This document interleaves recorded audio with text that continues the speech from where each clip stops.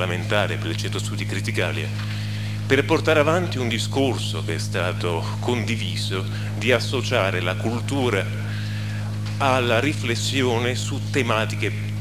solidamente contemporanee. A volte la cultura è quello che la contemporaneità e lo studio giuridico e lo studio della normativa sembrano essere cose distanti. In verità sono molto, molto vicine. Senza la conoscenza del percorso storico è difficile oggi avere un quadro preciso di quello che è la contemporaneità. La donna è, il, è la protagonista di questo, di questo incontro e di questo convegno. Scriveva Seneca che la donna è il ricettacolo della virtù della civiltà. Forse è per questo che dall'antichità ad oggi violentare la donna vuol dire appropriarsi di quella civiltà e di quella virtù dallo stupro religioso del, di 2500 anni fa fino a tutto il percorso della storia, la donna violentata, la donna assoggettata è un simbolo di una presa di potere. Sono passati più di 2000 anni di un lungo percorso che ha portato pian piano all'emancipazione, un percorso che dura tutt'oggi se, se basta pensare a quei film, quelli sui romanzi di Guareschi con Don Camillo che si meraviglia di vedere una donna in calzoni che fa attività politica. Parliamo degli anni 50, parliamo di dopo la guerra, parliamo di un percorso che dovrebbe essere già arrivato a compimento ma non lo è. È per questo che questa sera, partendo da, un, da un'opera letteraria, si è voluto creare un convegno che rifletta ancora oggi sul ruolo della donna nella società e, su, e sulle problematiche che ci sono ancora per arrivare a una vera e propria parificazione. La guerra alle donne non è mai finita e dura tuttora. Con il nostro piccolo supporto di centro studi e ringrazio il presidente, avvocato D'Antuoni parlamentare, Antonio Fanuele, presidente di Criticalia, Marco De Bonis che ha aiutato l'organizzazione di questo convegno, cerchiamo di aggiungere un piccolo tassello a una ricerca che dura e deve essere viva. Parlavamo prima, è un peccato vedere quasi tutte donne, perché questo è un tema che dovrebbe toccare molto gli uomini, più che le donne che forse ben sanno quali sono le difficoltà. Non sta comunque a me, ma alla platea che c'è qui accanto a me e passo subito la parola a Enrica Verlini che modererà il convegno di questa sera. Grazie Enrica.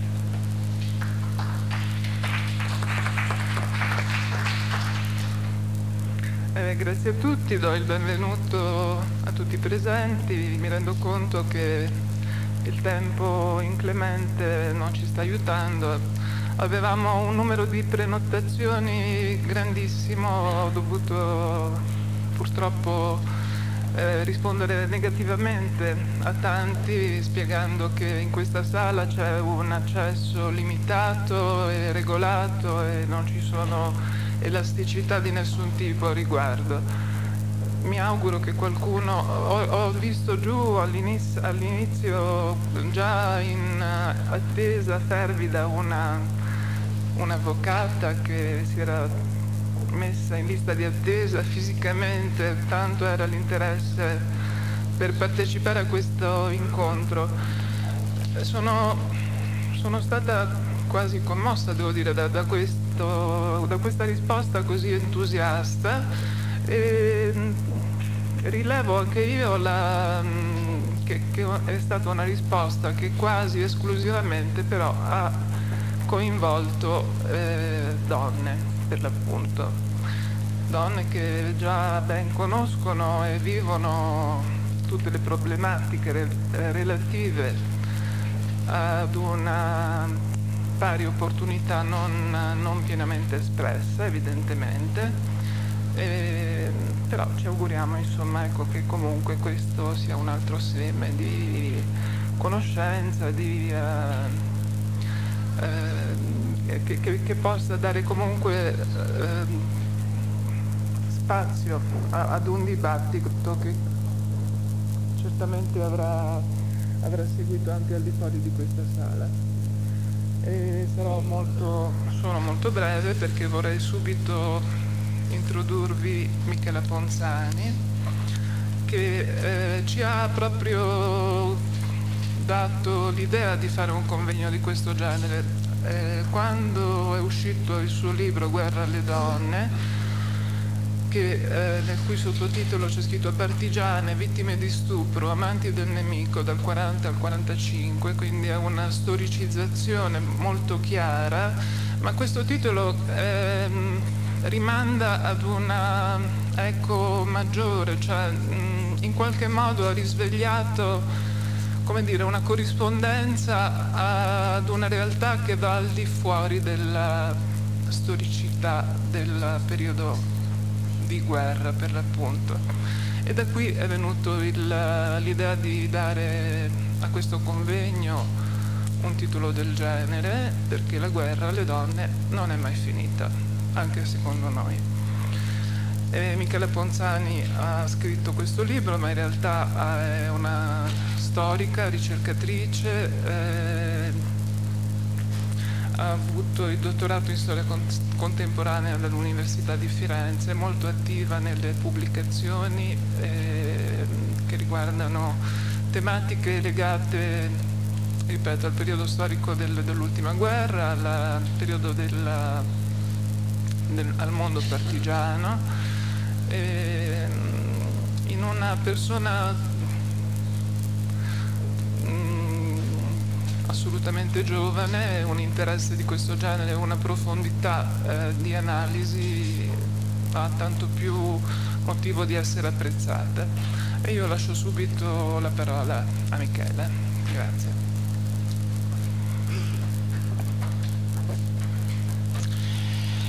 Allora, grazie di questo invito anzitutto che mi dà la possibilità di eh, affrontare un tema a me molto caro, che è quello della violenza alle donne, eh, un tema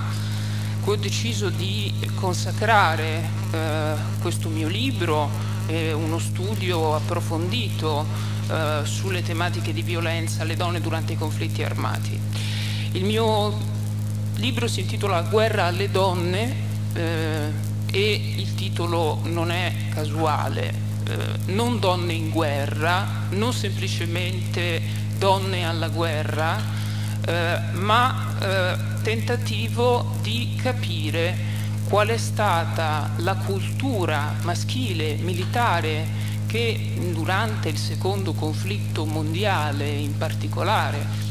dal 40 al 1945 eh, ha eh, segnato l'esperienza delle donne in guerra.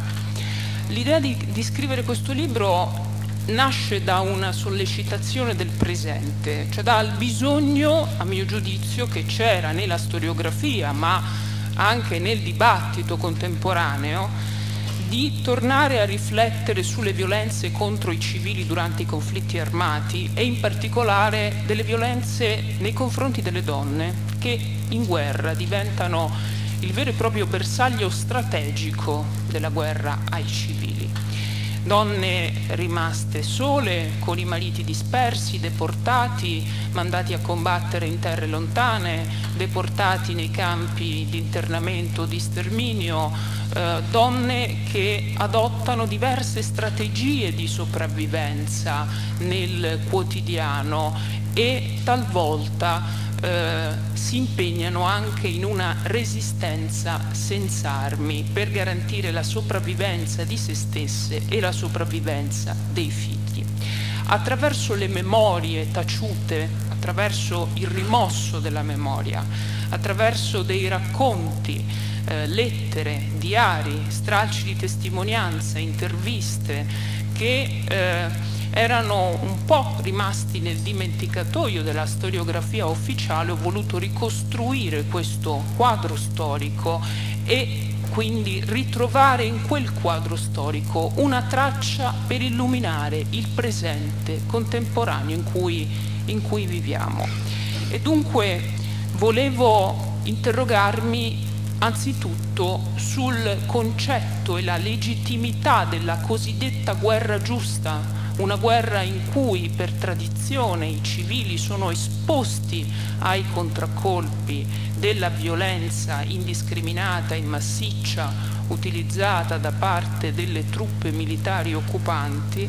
ma anche ragionare sull'uso e la strategia della forza militare e sullo stupro come arma di guerra, come una vera e propria arma di guerra utilizzata dagli eserciti occupanti per annichilire, fiaccare e per spegnere lo spirito di resistenza delle popolazioni civili che vivono su un territorio militarmente occupato.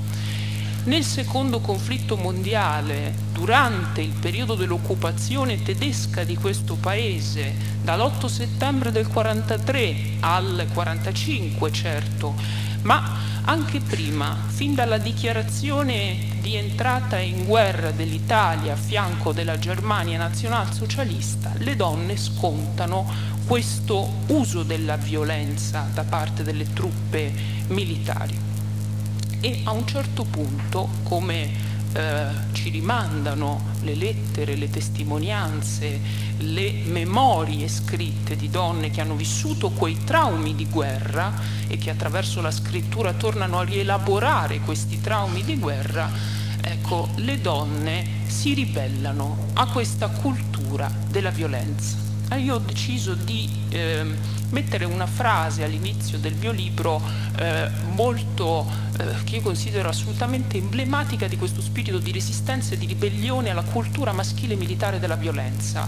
e cioè una frase dei gruppi di difesa della donna, quelle associazioni eh, messe su dai partiti antifascisti durante il periodo dell'occupazione tedesca, quindi dai CLN, organizzate dai CLN, in cui le donne entrano a far parte per garantire l'assistenza ai partigiani saliti in montagna, il sostentamento alimentare, l'organizzazione logistica, tutte le attività di tipo informativo politico si, eh, eh, di cui si ha la necessità in una guerra di guerriglia clandestina alla macchia come quella che si combatte sul territorio italiano, ecco, ho scelto proprio questa frase per eh, illustrare eh, forse meglio di altre eh, questo spirito di resistenza. Questa frase dice così, vado a memoria perché ovviamente me la ricordo molto bene, dice le donne rivendicano il diritto di disporre della loro sorte. Chi dice che il posto della donna è nella casa tradisce e mente. Le case crollano e il fatto che la donna sia l'angelo del focolare non lo può impedire. In questa frase c'è un mondo di ribellione, il mondo di ribellione delle donne che decidono sia giunto il momento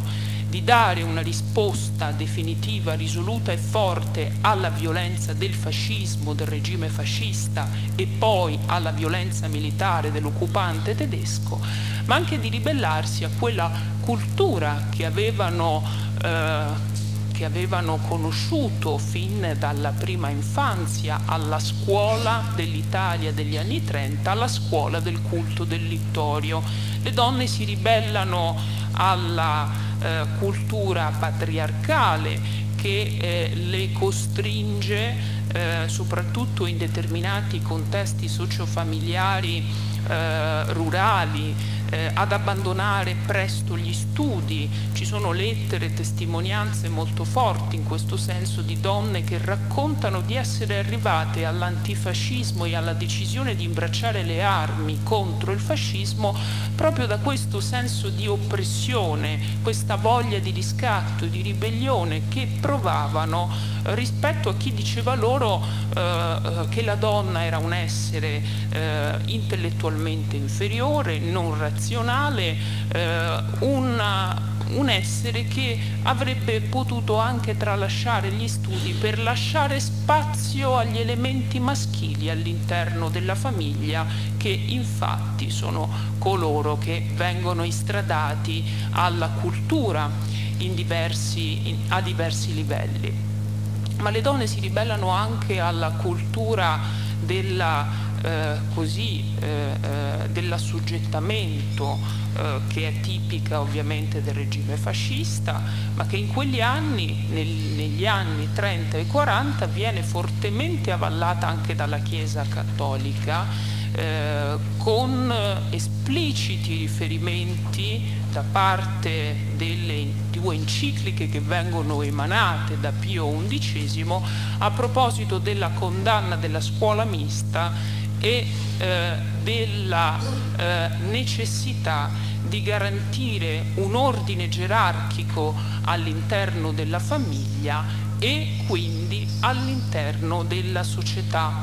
Nell'enciclica Casti Connubi del 1930, enciclica emanata da Pio XI, si dice esplicitamente che il compito nobilissimo della sposa e della madre è quello di non mettere in discussione l'equilibrio che c'è all'interno della famiglia e quindi di essere assoggettata alla potestà maritale esattamente come la Chiesa è assoggettata al Cristo. Questo eh, sistema di valori è un sistema in cui crescono le bambine durante le future antifasciste, le future, le future partigiane e questo è un sistema culturale che segna ad un certo punto l'ingresso e l'accesso all'antifascismo per eh, molte di esse. Dunque una, una storia che... Eh, ci aiuta a capire eh, il nostro presente. Eh, l'uso della violenza sessuale eh, nei conflitti armati come arma di guerra non è frutto di un semplice istinto individuale da parte di soldati che rimangono senza occasioni di incontro eh, e, eh, e quindi eh, una sorta di eh, sentimento individuale, è un vero e proprio strumento, un'arma, un'arma militare, una strategia bellica e così è per le truppe tedesche che occupano il territorio tra il 43 e il 45. L'uso dello stupro è complementare ad altre forme, ad altri crimini che eh, le truppe tedesche mettono in atto nella loro guerra terroristica di tipo preventivo e intimidatorio sul territorio italiano. Una guerra terroristica che mira a spezzare il legame che esiste o potrebbe esistere sul territorio tra le formazioni partigiane armate e le popolazioni civili, una strategia che vuole spargere il terrore, che mira a terrorizzare la popolazione civile con le rappresaglie, i rastrellamenti, le case bruciate, la distruzione integrale dell'habitat dove i civili vivono, con l'uso della tortura sui corpi dei prigionieri politici, con l'affissione dei corpi degli uccisi sulla pubblica piazza a monito della popolazione civile e con lo stupro alle donne. Lo stupro è un'arma che si utilizza per reiterare in un altro modo, secondo altre modalità simboliche, rituali anche, quella che è la violenza sui civili nel territorio italiano. Ora, di questi crimini per lungo tempo nel nostro paese non si è parlato, almeno fino alla seconda metà degli anni 90, quando grazie alla scoperta, eh, potremmo dire così, eh, del cosiddetto armadio della vergogna, e cioè di quel corpus documentario eh, ehm, fatto di tanti fascicoli processuali, circa 695 fascicoli processuali che avrebbero dovuto essere inoltrati alle procure militari di competenza affinché i processi per crimini di guerra fossero celebrati, eh, almeno fino alla seconda metà degli anni 90, questo tema delle violenze contro i civili nei conflitti armati è stato quasi completamente rimosso dalla memoria nazionale per diventare eh, una sorta eh, di eh, patrimonio delle popolazioni locali che erano state colpite da questi massacri o dalle associazioni dei familiari eh, delle vittime. Non è un caso che soltanto dopo il crollo del muro di Berlino a partire da quel periodo di transizione che inizia dall'89 e che si conclude nel 91 con la riunificazione delle due Germanie, noi non abbiamo eh, eh, potuto eh, assistere ad un dibattito pubblico su queste tematiche. Eh, non è un caso ancora che la maggior parte delle memorie di donne scritte a proposito di quei traumi di guerra eh, siano frutto eh, delle influenze eh, che eh, un'altra guerra ha avuto sulla loro memoria. Il mio libro parte proprio da queste memorie, memorie scritte nelle, negli anni 90, nel 1990, a ridosso della guerra in Iraq, quindi un'altra guerra che eh, induce le donne ad uscire dal silenzio, a rompere le gabbie della memoria, a riprendere il discorso di vecchi traumi non elaborati, perché finalmente forse lì fuori c'è qualcuno disposto ad ascoltare, c'è una società che ha rotto i margini di quella memoria pubblica fondata sulla pacificazione tra vincitori e vinti ed è giunto il momento di cominciare a parlare di questi, eh, di questi crimini eh, di guerra. Non è un caso che proprio nel 1992 la regista Elke Sander presentasse al Festival del Cinema Internazionale di Berlino un documentario molto, molto forte dedicato alle, eh, agli stupri di massa compiuti dalle truppe dell'Armata Rossa contro le donne tedesche in una Germania rasa al suolo dai bombardamenti a tappeto. E eh, dunque il cammino eh, che eh, la cultura giuridica, che il diritto internazionale ha compiuto nell'arrivare a definire lo stupro come un crimine di guerra e poi come un crimine contro l'umanità. Nel processo di Norimberga che si apre dopo la seconda guerra mondiale e anche nel, nei due processi che si celebrano in Italia contro i due maggiori responsabili di crimini di guerra, ehm, contro eh, Herbert Kappler per il massacro delle fosse ardeatine, contro il maggiore Walter Röder per il massacro di Marzabotto, Montesole, dove le vittime sono circa 770 persone, tutti civili, tra donne e bambini, lo stupro in questi processi non viene assolutamente preso in considerazione, non viene contemplato sebbene vi siano donne che eh, vadano a testimoniare eh, e che si recano dinanzi ai tribunali militari per testimoniare delle violenze che hanno subito, eh, violenze strategiche, violenze utilizzate nella guerra al terrore che i tedeschi hanno messo in atto sul territorio italiano.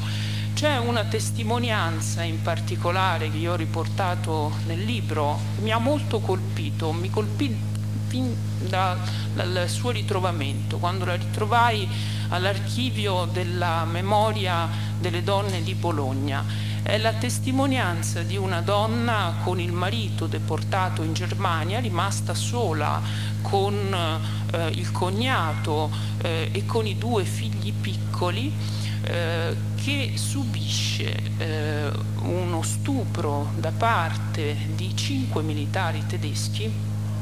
durante i giorni che seguono il massacro di Marzabotto Montesole, quindi per capirci il periodo che va dal, i giorni che vanno dal 30 settembre al 5 ottobre del 1944. In questi giorni, lungo questo asso di tempo, le truppe tedesche circondano il territorio, tutti i paesi dislocati eh, intorno al Montesole con una mossa militare strategica a Tenaglia eh, circondano il territorio, eh, radunano le donne e i bambini nelle chiese e li massacrano per giorni e giorni. Durante questo periodo eh, una di queste persone, questa donna, subisce lo stupro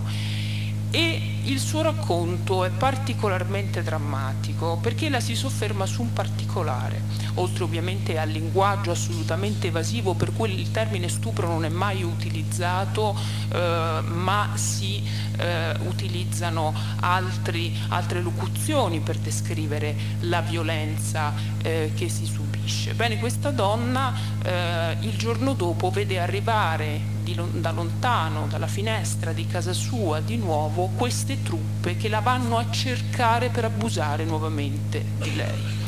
e per portarla nei campi bordello che hanno costruito lungo la linea del fronte dove di giorno le donne scampate al massacro nazista vengono impiegate in lavori di pulizia o in eh, attività di sostentamento alimentare per i generali che si riposano eh, dalla guerra e di notte vengono utilizzate invece come eh, schiave, schiave sessuali. Questa donna vede arrivare i militari dalla finestra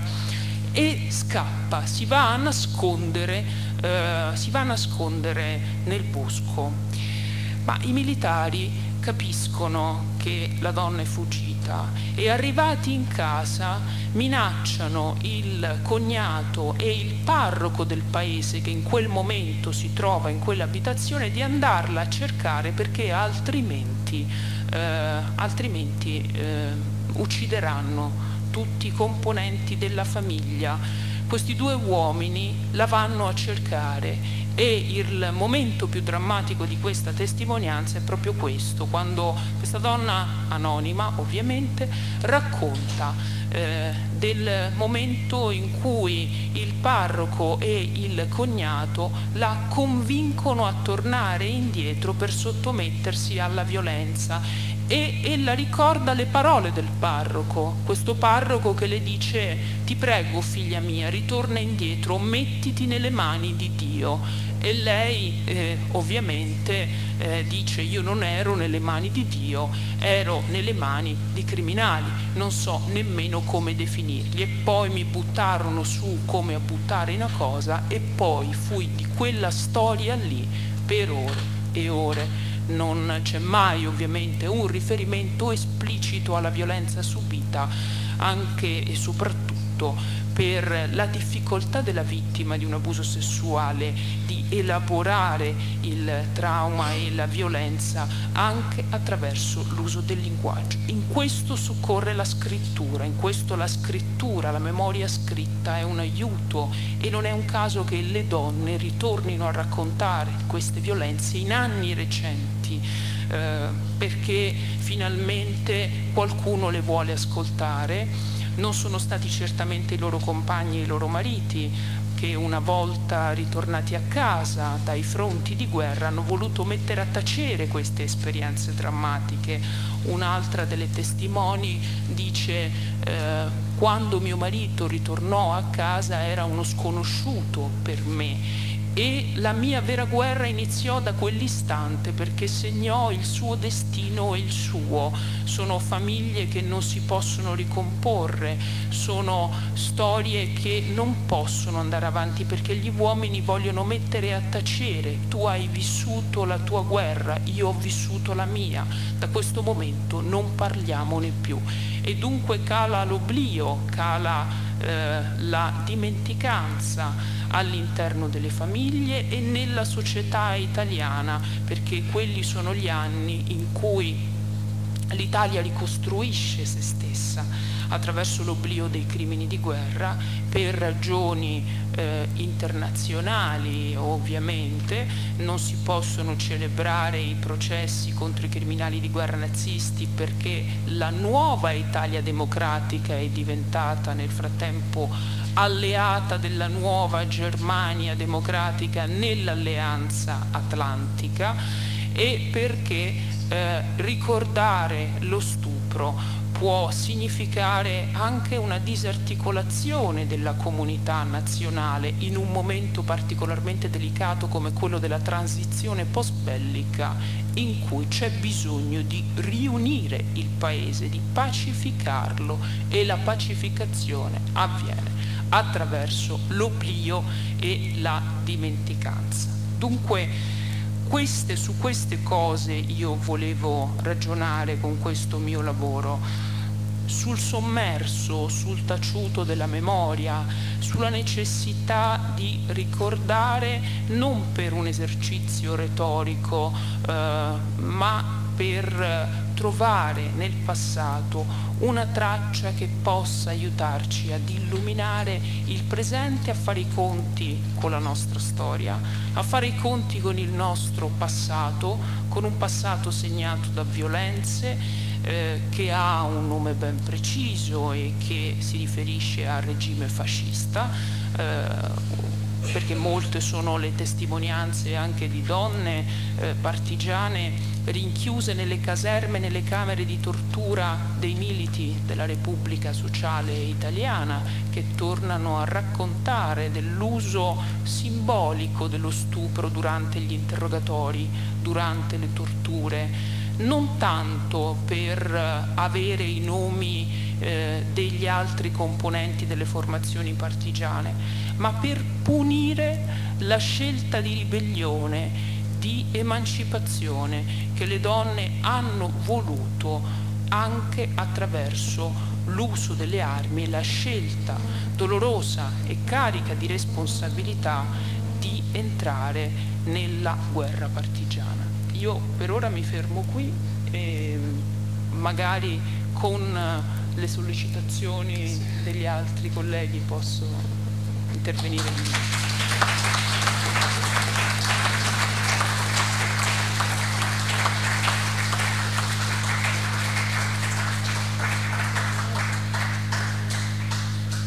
Grazie, grazie a Michela Ponzani, siamo, siamo calati in un'atmosfera molto densa di uh, argomenti importanti e abbiamo visto quindi lo stupro come arma di guerra che eh, tuttora ai nostri giorni viene usato in, uh, in questo momento. Eh, c'è stato un cammino della giurisprudenza, dicevamo, e chiederò proprio all'avvocato D'Antuoni, presidente di Parlamentaria e persona molto sensibile a questi argomenti, di, di darci la sua, la sua testimonianza.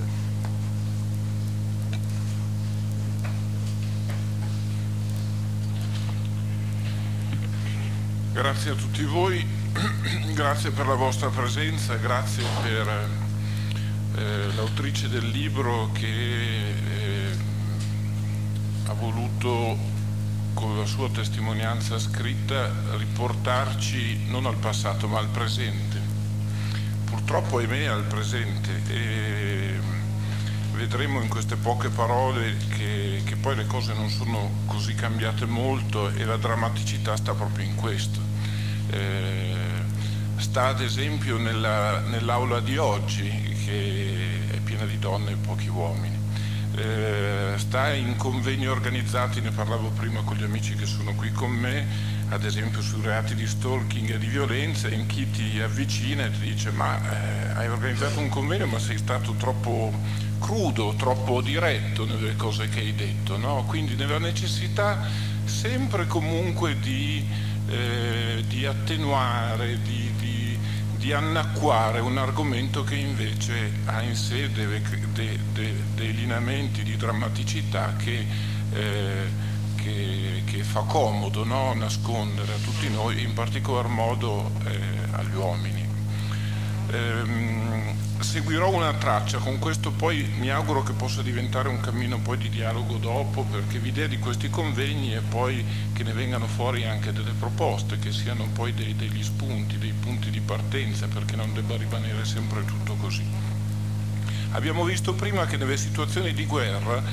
da sempre abusare delle donne è stato considerato una ricompensa dei soldati, ma anche un vero e proprio metodo di combattimento. Eh, perché si voleva violare la resistenza psicologica della popolazione oltre che degli eserciti, quindi la violenza alla donna come strumento di combattimento. Però dobbiamo aspettare, pensate un po', solo il 2008 le Nazioni Unite hanno considerato lo stupro tra le armi di guerra, quindi eh, l'altro giorno praticamente. Eh, casi di stupri si registrano ancora oggi, in Siria le Nazioni Unite stanno registrando in questi giorni decine, decine e centinaia di donne violentate e stuprate di cui eh, ancora oggi non si parla il Darfur, la Cecenia e nell'ex Jugoslavia eh, sappiamo poco di quello che è accaduto. Personalmente ho svolto, ho, per motivi di lavoro sono stato in, in Serbia, in Repubblica Serbska e ho attraversato con un viaggio in diversi giorni eh, quei territori e ehm, nei dialoghi con le popolazioni, con le persone, eh, c'era proprio questa questo silenzio, questa nebbia di cui non si poteva parlare perché lì i segni delle violenze usate come strumento proprio di eh, combattimento, era una scelta quella di eh, violentare sui confini eh, tra Serbia e, e, alle porte di Sarajevo è, è, una cosa di cui nessuno parla ma eh, ci sono migliaia di violenze che non sono state solo le morti e me che abbiamo dovuto registrare. Certo che ehm, ehm, si parla però eh, di stupro anche in, in, luoghi e in momenti di pace, ahimè. Eh, e tutto questo nasce da un contesto purtroppo culturale e sociale che continua ad essere accettato, tollerato, giustificato e impunito è quello che si dice, si parla proprio di una cultura eh, dello stupro che non è mai morta. Ricordiamoci che in Italia fino al 1996, fino al 1996 il reato era considerato non un reato contro la persona, ma un reato morale contro eh, la, la, il pubblico. Cioè io sto facendo violenza non a te, ma faccio violenza a ciò a cui tu appartieni, che è la comunità. È una cosa gravissima. Per arrivare a questa cosa abbiamo dovuto aspettare fino al 1996. Se voi andate a guardare il cammino parlamentare di questa norma, è sofferto. Eh, stiamo parlando di cinque legislature che non hanno dato alcun tipo di significato, di lotte incredibili eh, all'interno del Parlamento, di Camera e di Senato, perché questo provvedimento qui non lo si voleva. Eh, nel mondo 150 milioni di ragazze subiscono ogni anno abusi sessuali. Almeno il 56% di questi abusi viene commesso dai propri familiari. Sono circa 10 milioni all'anno i matrimoni che vengono celebrati di bambine. Ehm, L'ANSA qualche giorno fa, un mese fa, ha pubblicato alla Presidenza del Consiglio, ha fatto avere uno studio che prende un eh, spunto da che cosa? Dalle notizie che hanno pubblicato. Eh, nel, da gennaio 2011 a giugno 2012 hanno registrato su circa 130.000 notizie 3.196 casi di stupro, cioè vuol dire che ne abbiamo circa 6 al giorno. Ecco perché è straordinario il libro dell'autrice, perché ci dà un filo che non è poi così tanto sottile, che ci lega ai fatti delle nostre nonne, delle cose che non abbiamo mai sentito raccontare in casa, eh, perché di quelle cose lì non se ne deve parlare, allora come oggi,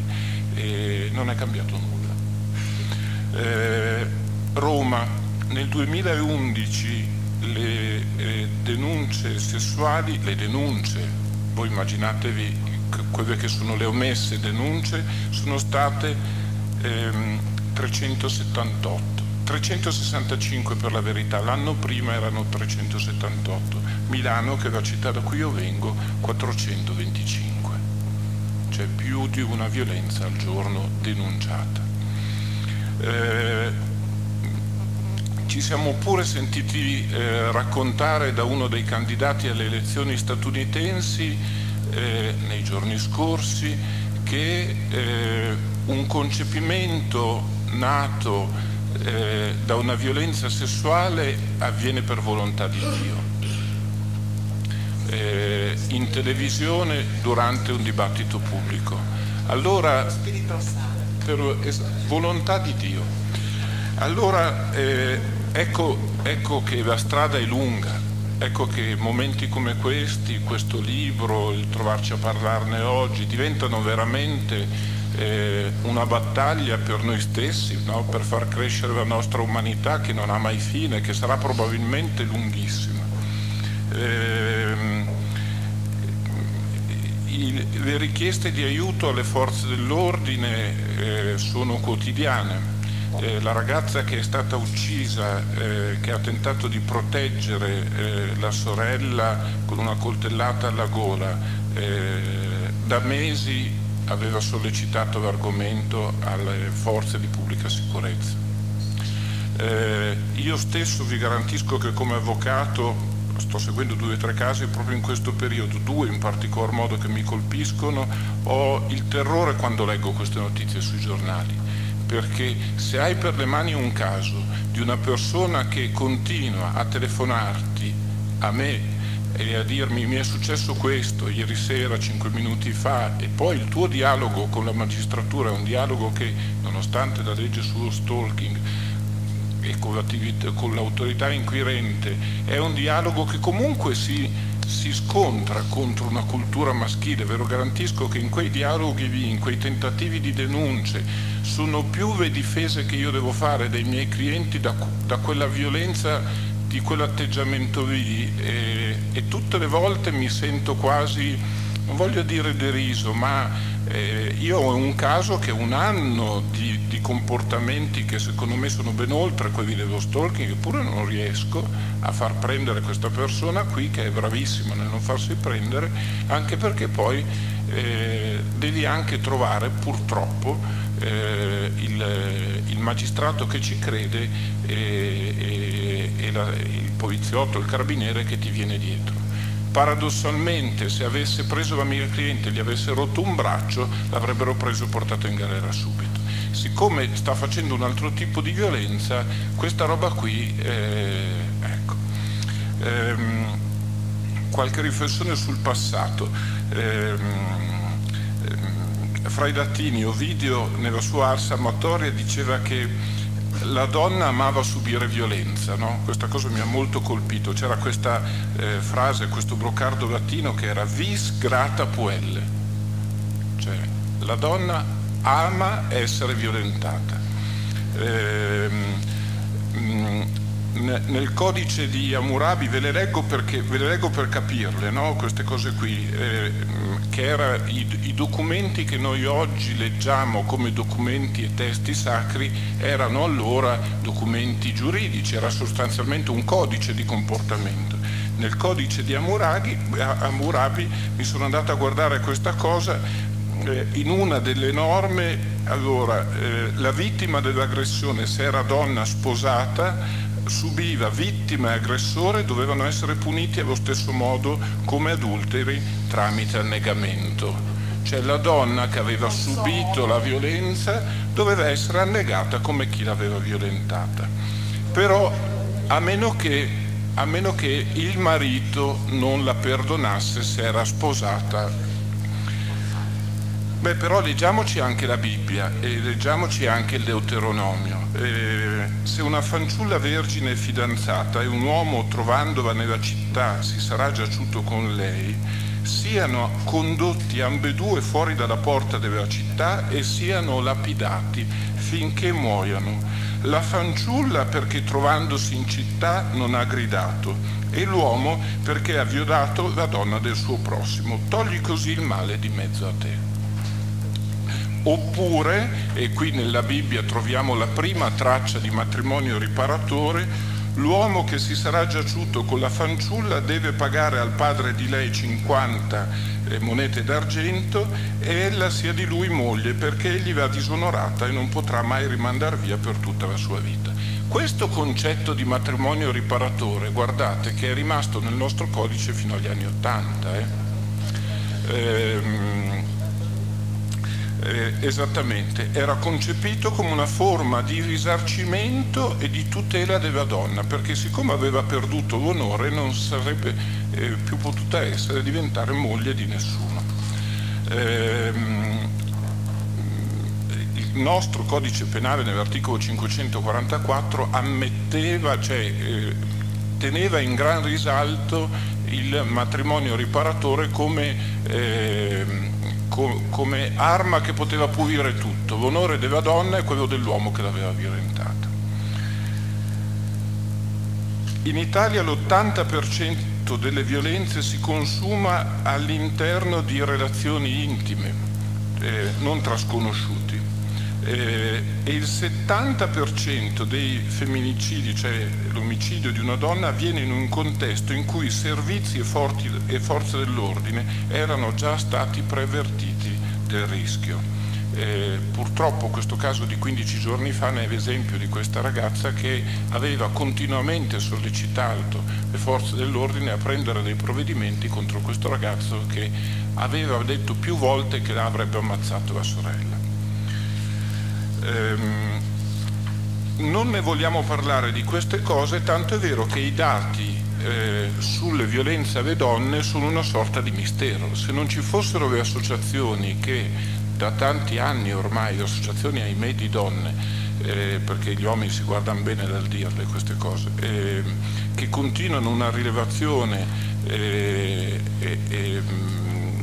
quasi ogni anno purtroppo di quello che sta accadendo, non ci sono delle fonti ufficiali. L'ultima rilevazione che noi abbiamo è Istat 2006. Eh, questo lavoro fatto da, dall'ANSA di un mese fa ha sconvolto un po' tutti perché ci ha ricordato che praticamente sei casi al giorno di violenza nel nostro paese accadono, quelli che si sanno quantomeno. Eh, noi siamo stati anche richiamati in questo perché a, a settembre di quest'anno stata una delegazione della comunità europea che è venuta in una sorta di ispezione e, e, e ci hanno lanciato un monito, dovete istituire eh, un organismo di controllo, di rilevazione che annualmente, tramite le forze dell'ordine, tramite le associazioni, svolga attività di coordinamento dando dei dati ufficiali, perché o queste cose qui ce le sbattono in faccia in modo... Eh, eh, concreto, quasi quotidiano, o se no eh, c'è l'Istat del 2006 e poi vabbè, c'è la notizia del giorno dopo e poi si continua a dimenticare. Manca anche la volontà di conoscere i dati, figuriamoci di capirli. Ehm,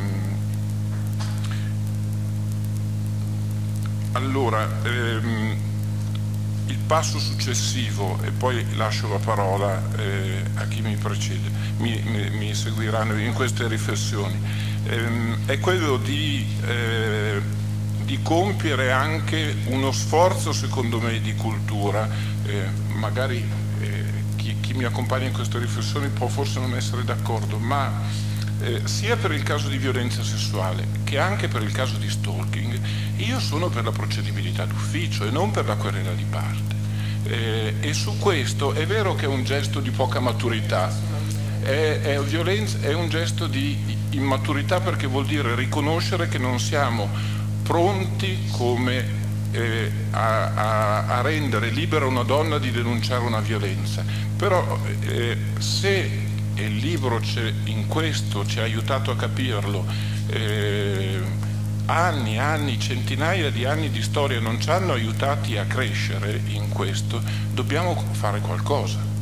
Eh, se continueranno ad esserci nelle nostre case eh, denunce eh, eh, non poste di violenze, se le notizie del paese, delle vie continueranno a essere cose che non arrivano nelle aule di un magistrato perché denunciare ancora oggi, andatevi a guardarvi le, alcune sentenze della Corte di Cassazione, sono pazzesche certe cose che ancora oggi leggiamo. Eh, denunciare una violenza eh, oggi eh, costa quasi quanto o di più che subirla e per poter fare il passo in avanti dobbiamo rendere questo reato, secondo la mia personale opinione, è un reato che in presenza di alcune notizie di reato e di fattispecie un magistrato non può che procedere, indipendentemente dal fatto che una donna lo denunci o no. Questo vale sia per la violenza fisica che anche per lo stalking. Eh,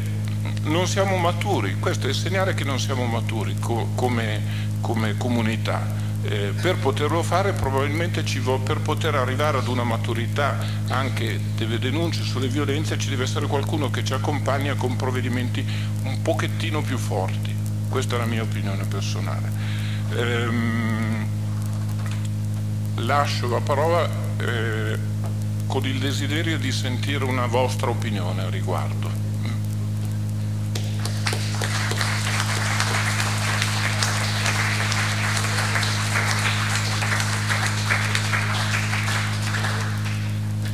Grazie all'avvocato. Noi adesso daremo la parola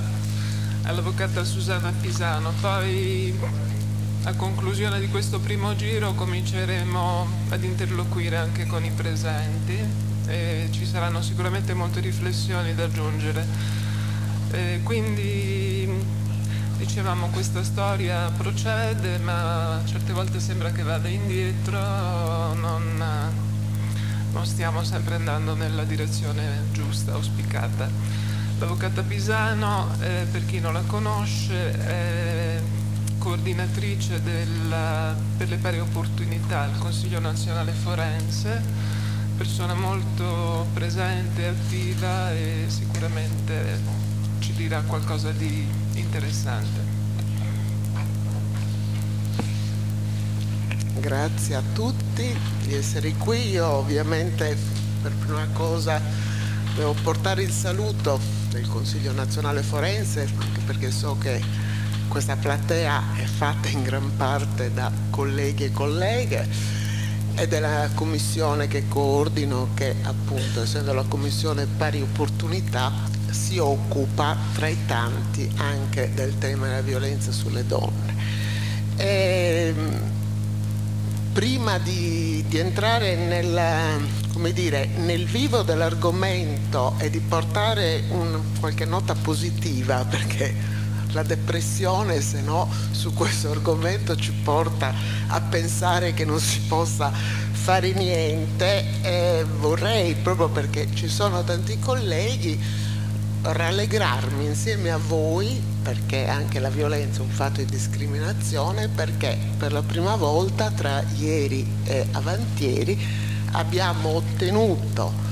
nella riforma dell'ordinamento forense in corso di approvazione alla Camera l'inserimento degli emendamenti di genere che la mia commissione aveva predisposto e aveva veicolato alla politica non potendoli veicolare dalla professione e sono stati introdotti tutti e se la riforma eh, verrà poi approvata anche dal Senato, i prossimi organismi di rappresentanza dell'avvocatura avranno le quote per la presenza femminile, sia a livello di ordini sia a livello di Consiglio nazionale forense e altrettanto mi dicono i colleghi, anzi le colleghe della Cassa Forense, si sta pensando sulla eh, normativa elettorale della Cassa. Introduco quindi questo argomento che potrebbe sembrare non entrarci nulla,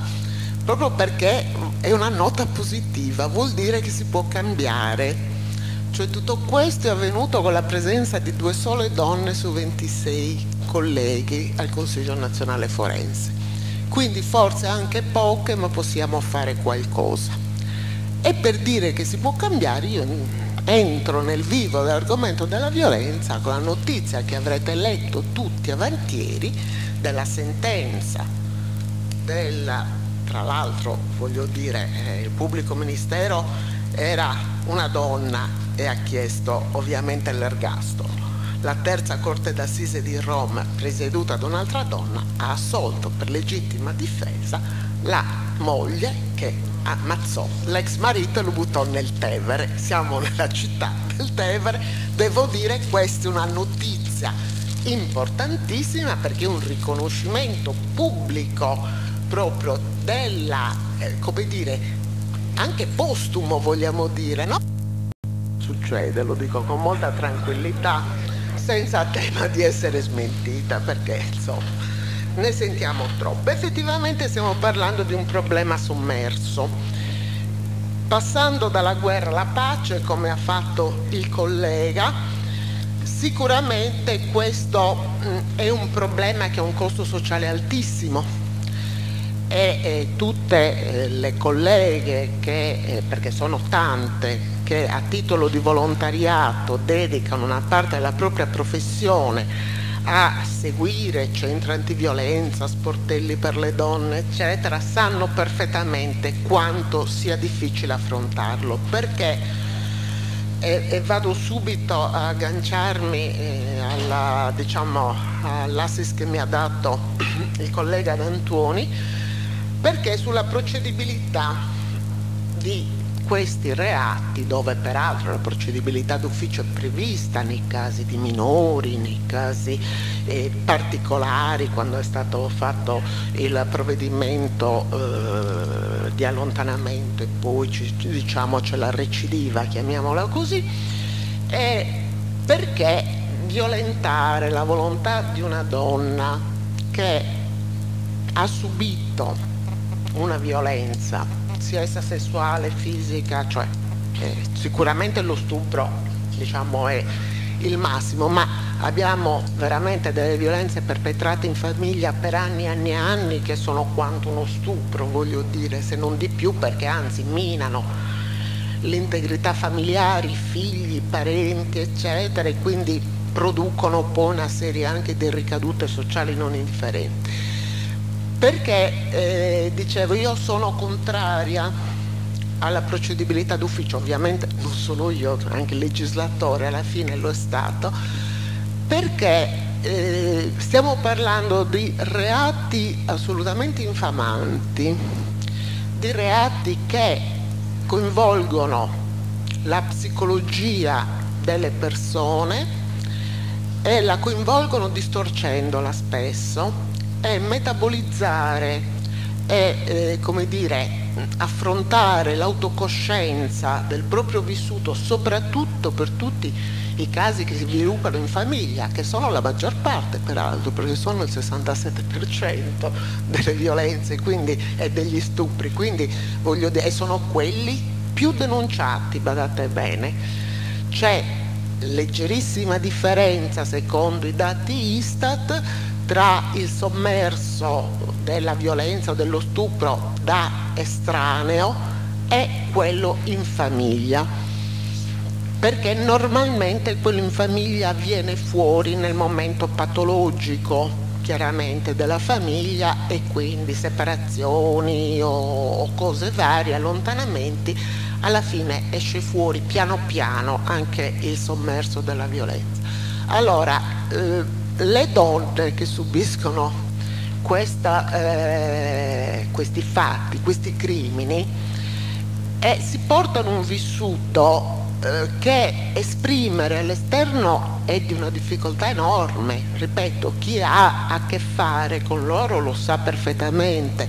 ed è molto simile a, a, diciamo, a quel vissuto che ci ha raccontato l'autrice del libro eh, per le donne che l'hanno vissuto durante il periodo della guerra. Eh, non è cioè, la stessa cosa, la violenza è un furto. Eh, sono il, eh, eh, eh, ve lo dico proprio per l'attività che noi stiamo cercando di fare su questo versante sugli avvocati ovviamente e sulle avvocate in particolar modo che sappiamo avere in questa materia una predominanza di attività rispetto ai nostri colleghi maschi perché eh, spesso mh, anche coloro che devono seguire tecnicamente questi reati non hanno una preparazione adeguata. Questa è la verità, ce lo dobbiamo dire. Sono eh, materie povere, non sono materie che fanno ricchi gli avvocati. Hm? Sono materie dove l'impegno, e anche lì bisogna capire appunto il perché eh, più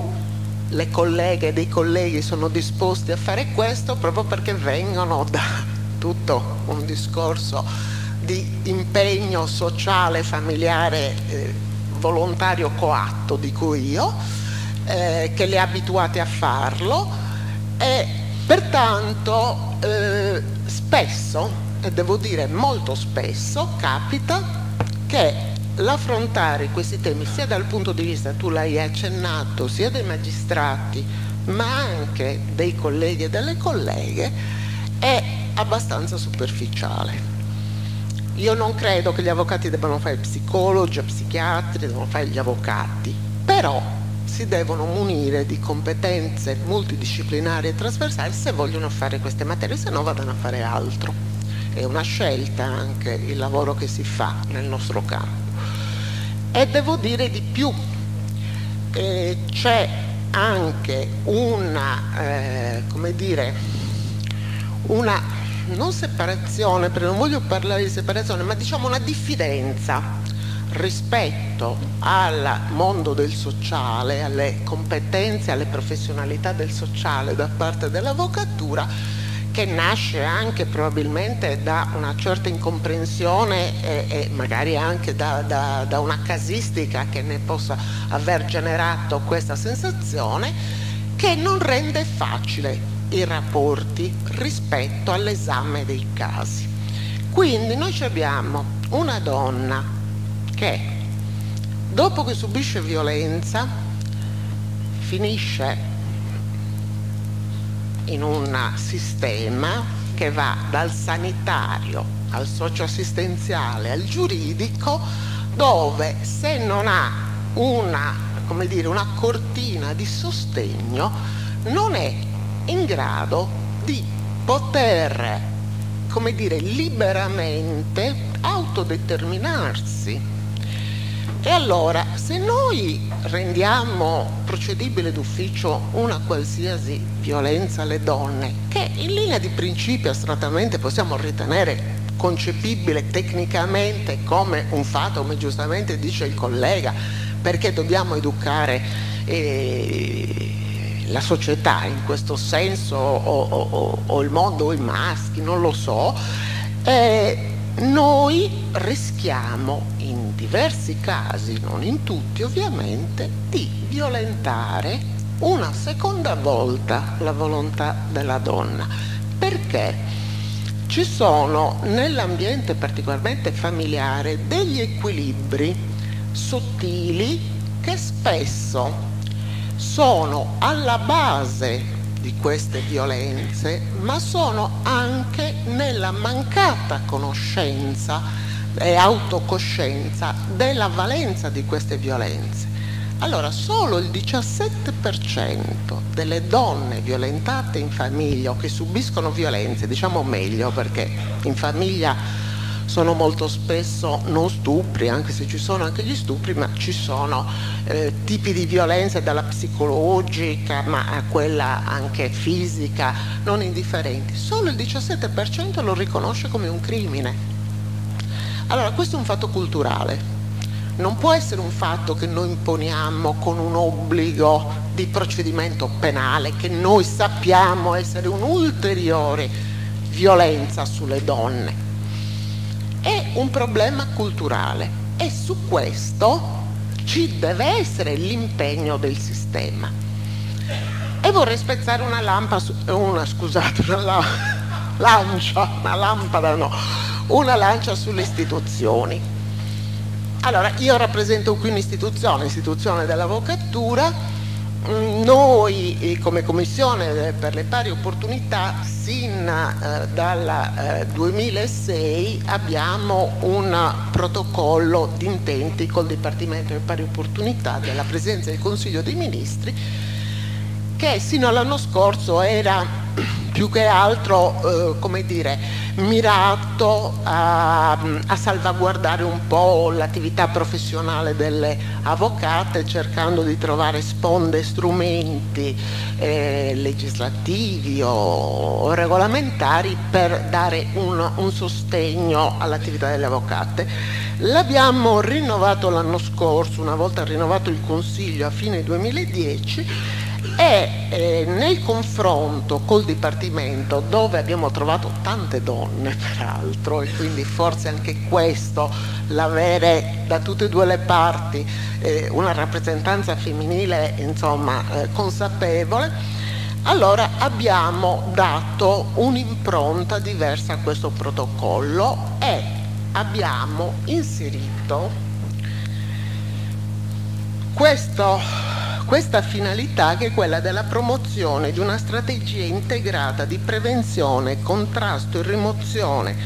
delle discriminazioni, ivi comprese tutte le forme di violenza contro le donne, in quanto intese come gravi violazioni dei diritti umani e fattori di ostacolo al conseguimento della parità di genere, nonché di sviluppo e implementazione di reti locali per la rilevazione e la presa in carico dei relativi fenomeni è sicuramente una novità, una novità nel senso che abbiamo mh, concepito con il Dipartimento l'opportunità di rendere consapevoli soprattutto i giovani colleghi e le giovani colleghe della necessità di formare avvocati eh, con competenze trasversali su questo versante per poter dare, il Dipartimento l'ha chiamato una task force di avvocati che difendono le donne e questo ci è pure piaciuto e in base e in attuazione a questo protocollo abbiamo eh, prodotto sui fondi del PONGAS eh, che riguardano l'occupazione giovanile che aveva a disposizione il Dipartimento l'anno scorso abbiamo prodotto lo studio di un modello formativo multidisciplinare per giovani avvocati con meno di 5 anni di iscrizione all'albo che abbiamo sviluppato quest'anno nei mesi di marzo, aprile e maggio qui a Roma abbiamo formato 80 giovani avvocati delle quattro regioni dell'obiettivo convergenza dei fondi del Pongas, quindi Sicilia, Calabria, Puglia e Campania. È stata un'esperienza importante che ha dato tra l'altro a questi giovani che io poi mi sono ritrovata in varie occasioni di convegni eccetera sul territorio una, prima di tutto una speranza anche di lavoro perché il Dipartimento adesso ci ha detto che vuole eh, nella rete dei centri antiviolenza eh, vedere di fare un discorso anche di sperimentazione di questa formazione di questi giovani per vedere appunto di iniziare a creare una sensibilità particolarmente forte nell'avvocatura rispetto a questi problemi. Noi sappiamo che ormai in Italia abbiamo un femminicidio ogni due giorni e quindi non stiamo parlando dei 400 casi di violenza, ma stiamo parlando degli femminicidi, quindi delle uccisioni delle donne e siamo passati, l'anno scorso era uno ogni tre, quest'anno è uno ogni due, non lo so se l'anno prossimo dovremo aspettarci uno ogni uno, eh, e però la situazione da questo punto di vista ha bisogno di un approccio di sistema. E devo dire però che mh, iniziando a lavorare su questi temi a livello nazionale abbiamo trovato non solo ovviamente la vitalità e la capacità del sistema dei centri antiviolenza e delle associazioni del volontariato, soprattutto delle donne, che sicuramente rappresentano un punto fermo nel sistema italiano. Ovviamente abbiamo situazioni situazioni sul territorio di eccellenza e di, diciamo, di mm, minore efficacia, eh, però sicuramente è, è, è una rete importante. Il Dipartimento la sta tra l'altro valorizzando e vi do qui un'anticipazione che ho saputo la settimana scorsa a Torino durante un, un convegno sempre sulla violenza di un progetto Daphne eh, dove c'era la dottoressa De Marco, dirigente proprio per il settore violenza del Dipartimento, la quale eh, ci ha detto che ci sono i fondi per fare nuo la nuova indagine Istat. Quindi il prossimo anno dovrebbe essere dedicato a recuperare i dati perché effettivamente questo è un problema. Noi non solo abbiamo pochi dati, ma abbiamo dati disomogenei eh, i centri antiviolenza e le associazioni li raccolgono in un certo modo, le procure sono in grado di darli in un altro modo, i tribunali non li sanno dare se non per processi aperti o definiti, per cui alla fine cosa succede? Succede che c'è il rischio di avere da una parte duplicazione degli stessi casi, e dall'altra invece di disperdere una serie di casi che appunto o non arrivano da una parte o si perdono meandri, nei meandri dei passaggi per cui effettivamente noi non abbiamo dati certi, abbiamo quelli fondamentalmente che ci vengono appunto rappresentati e poi quelli che leggiamo ormai sui giornali che eh, sicuramente sono più attenti. Eh, allora, questo per dire che cosa? Per dire che noi, abbiamo, noi tutti, e credo che chi qui sicuramente avrà la sensibilità giusta per, per questa materia, perché se no uno non ci spreca le ore a parlare eh, di questi argomenti, eh, perché dobbiamo cambiare una cultura. Dobbiamo prima di tutto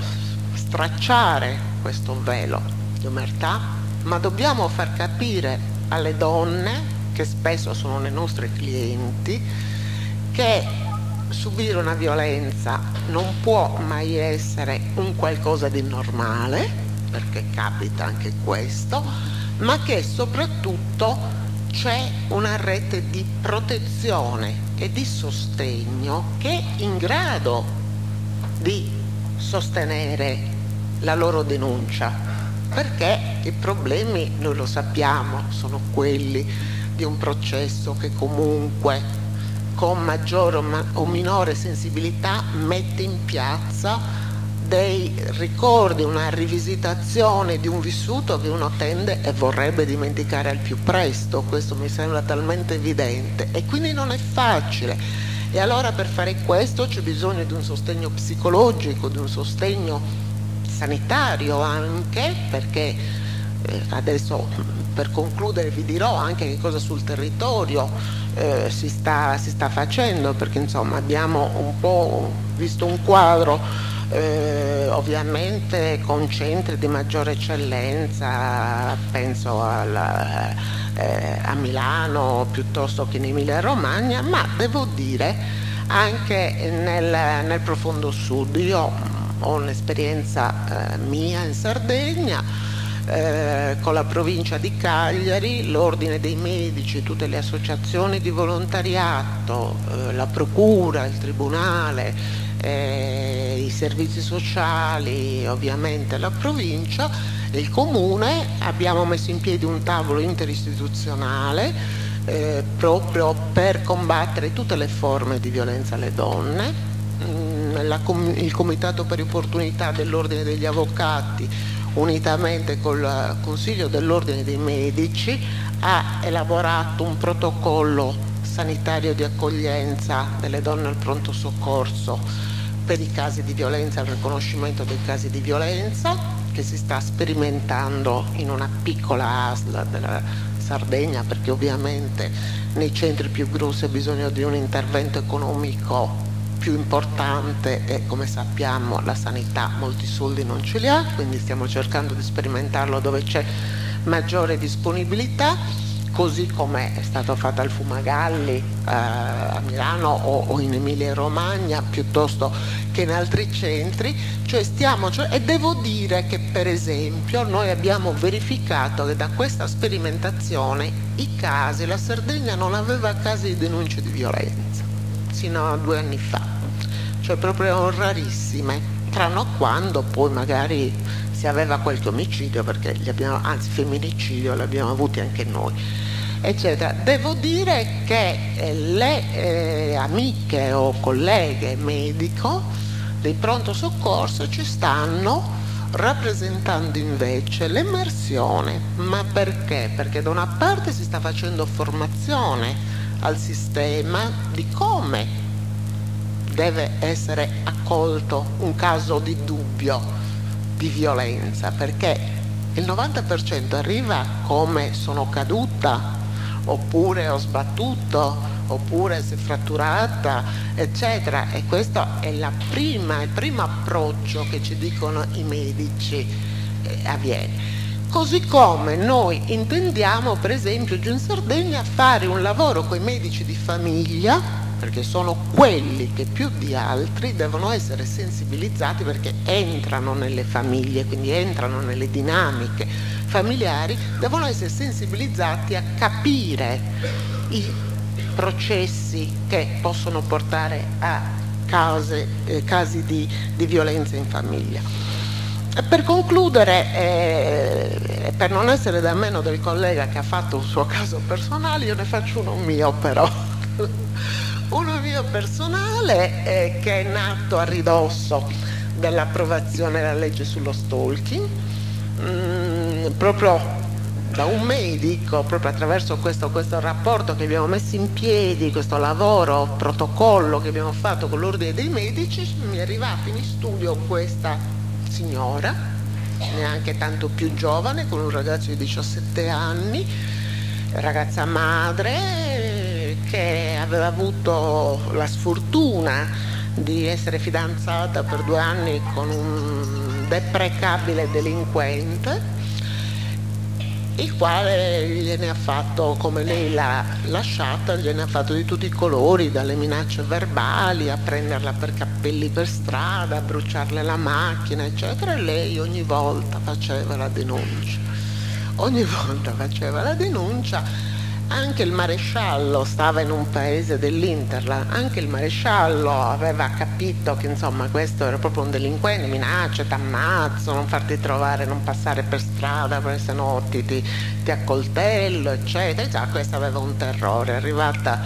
nel mio studio una, una donna di 30-38 anni che sembrava una vecchia di 60. E, e vabbè, siamo riusciti con la, la collega, io faccio civile, la collega che fa penale, siamo riusciti a far riunire ben 17 denunce nell'arco di circa due anni che erano disperse presso diversi pubblici ministeri e un unico pubblico ministero. E quando quest'uomo, che è un uomo ha visto questa situazione, ha immediatamente capito che c'era un rischio vero. Allora abbiamo fatto un'operazione da una parte di protezione di questa donna che abbiamo allontanato dal luogo dove si trovava questo signore, dopodiché abbiamo fatto l'ultima denuncia perché ovviamente era successo un altro di questi episodi eccependo anche il 612 bis e non solo lui è stato arrestato abbiamo fatto il processo in primo grado gli hanno dato 4 anni e 50 mila euro di multa di risarcimento danni, scusate, non di multa. È stato condannato anche in appello e si è fatto tutti e quattro gli anni. Li ha finiti adesso praticamente, era stato arrestato nel 2009 proprio. Ecco, eh, il, il tribunale era presieduto da una donna, però devo dire anche il pubblico ministero ha immediatamente percepito che c'era una situazione pesante. Adesso sta finendo la pena, ovviamente abbiamo il problema di che cosa fare per evitare, quindi capite che non è finita.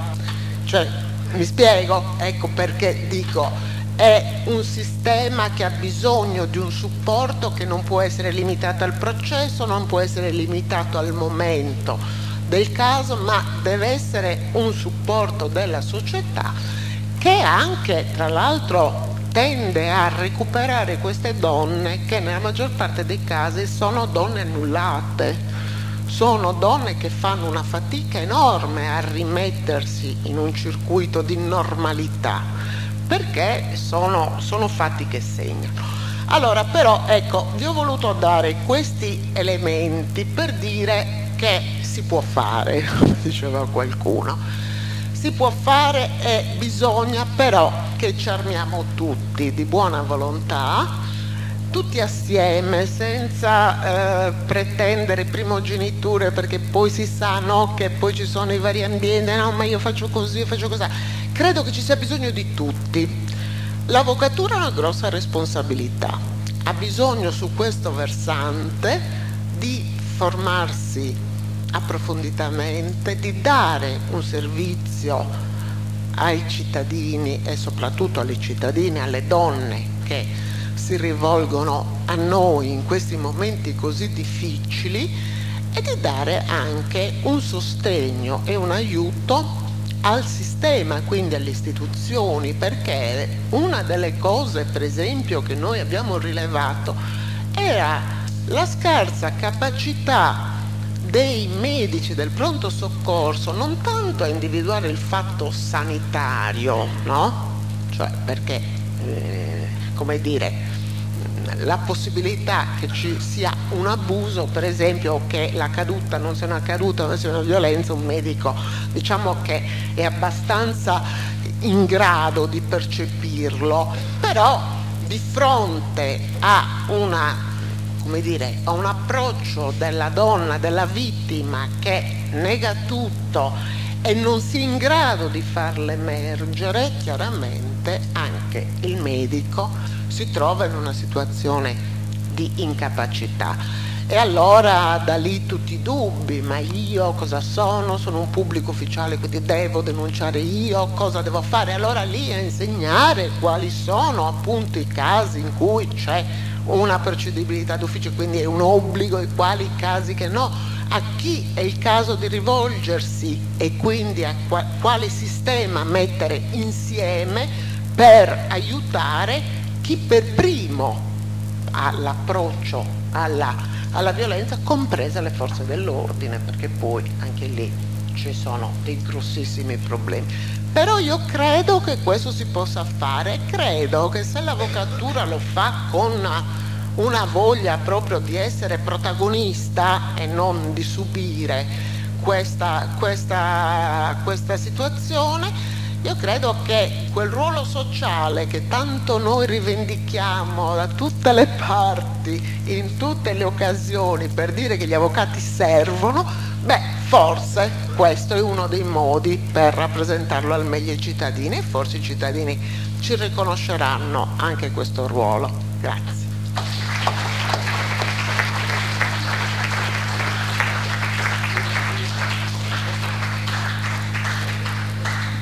grazie all'avvocata Pisano che ci ha dato eh, idea del, del, del, tanto lavoro da fare ma anche della possibilità di metterlo in atto fattivamente. Eh, io chiederò adesso se ci sono delle repliche da parte della, del parterre, qui dei relatori e dopodiché darò la parola anche a, al pubblico, già ci sono delle persone che mi hanno segnalato la loro disponibilità a parlare e vorrei anche dare la parola al Presidente di Telefono Rosa che è qui con noi questa sera e ci darà una testimonianza viva che eh, nasce da tanto tempo e quindi ha visto un'evoluzione di tanti anni. Quindi prima di tutto chiedo ai nostri relatori se hanno da aggiungere qualcosa. Ma dunque, dopo aver sentito questi, queste storie con questi dati così allarmanti, devo dire che eh, Quel che posso dire dal mio punto di vista di studiosa di storia, di persona che prova a fare questo mestiere così difficile che è lo storico e quindi un po' a ricostruire i fili della memoria, la cosa che mi ha colpito in particolare era proprio diciamo, questo, questo dato sulla difficoltà del diciamo, da parte delle vittime di violenza e delle donne di riconoscere proprio la violenza come tale se subita all'interno dei contesti familiari e quindi la difficoltà anche di rompere con i legami familiari perché denunciare ciò che avviene all'interno delle famiglie eh, presuppone diciamo, la consapevolezza eh, di eh, andare a disarticolare un nucleo con tutta quella serie di ricatti morali, di ricatti psicologici che poi vengono messi in atto. Penso ad esempio, non sono un'esperta, ma penso ad esempio al caso della, dei reati di pedofilia, cioè quando la, la, la violenza eh, è il minore a subirla che non ha nemmeno voce per poter esprimere i propri diritti e rivendicarli. L'altra cosa che mi ha colpito erano i dati, eh, le considerazioni che face, si facevano prima eh, a proposito della lunga durata di questa cultura giuridica che eh, definisce lo stupro quasi come eh, una sorta di diritto dell'uomo sulla, eh, sul corpo della donna e attraverso il corpo della donna un messaggio implicito di conquista di un territorio, se nei contesti bellici oppure di eh, appartenenza, diciamo, eh, di, di, appropriazione eh, di un, di un territorio. Non è un caso che gli esempi citati eh, diciamo da Ovidio alla Bibbia eh, si rifacciano a quella cultura giudaico-cristiana eh, che eh, da sempre diciamo, definisce la donna eh, come oggetto e eh, questa questione della, diciamo, del senso di colpa che dovrebbe gravare sulla donna vittima di abuso eh, e che la rende eh, eh, diciamo così, particolarmente eh, eh, incapace di poter riconoscere l'abuso e di poterlo, di, poterlo diciamo, di, po di, poter uscire fuori da, questa, da, questo stato di senso di colpa. Eh, queste considerazioni sulla cultura giuridica mi hanno fatto pensare, anche perché poi si citavano appunto le sentenze della Corte di Cassazione, mi hanno fatto subito pensare a quel che accadeva nell'Italia del dopoguerra, eh, quando si apre la stagione dei processi contro i criminali di guerra fascisti che vengono portati in giudizio dinanzi alle corti straordinarie di Assise, che erano degli organi giudiziari straordinari istituiti dalla nuova Italia repubblicana per diciamo così, eh, ehm, celebrare processi per il cosiddetto reato di collaborazionismo. Eh, ci, sono, eh, ci, sono, stati eh, moltissimi di questi processi, molti dei quali finiti in Cassazione. Io ricordo in particolare alcune sentenze di Cassazione che si, si riferivano diciamo così, alla, eh, allo stupro eh, subito da da partigiane durante la resistenza nelle caserme, nelle camere di tortura fasciste. Ne ricordo in particolare una che ho citato anche nel libro, una sentenza della Cassazione del 1947 in cui chiamata a riesaminare una, con, una condanna all'ergastolo per un milite delle Brigate Nere eh, di una caserma dell'ufficio eh, politico investigativo di Reggio Emilia, cioè uno dei reparti di polizia straordinari che operavano tra quelli della Repubblica Sociale Italiana sul territorio, eh, accusato di collaborazionismo per, per, aver fatto violentare sotto interrogatorio da parte di alcuni suoi militi, militi sotto suo comando, una partigiana, una partigiana di 16 anni che riportò da quella violenza delle conseguenze eh, enormi dal punto di vista fisico ovviamente, ma, anche dal punto di vista morale soprattutto. Eh, e ehm, nella sentenza eh, si legge esplicitamente eh, che quella violenza non costituiva un crimine, una sevizia particolarmente efferata, come veniva definita da un articolo del, eh, decreto, eh, del decreto di, di, amnistia del 1946. Non costituiva una sevizia particolarmente efferata né un crimine di guerra, ma soltanto un'offesa all'onore e al pudore della donna, anche se essendo una partigiana e quindi avendo vissuto in promiscuità con altri uomini durante il periodo della guerra clandestina, eh, diciamo che questo crimine poteva essere considerato un crimine minore eh, perché la donna era eh, e questo diciamo, è una, una, un esempio della cultura giuridica eh,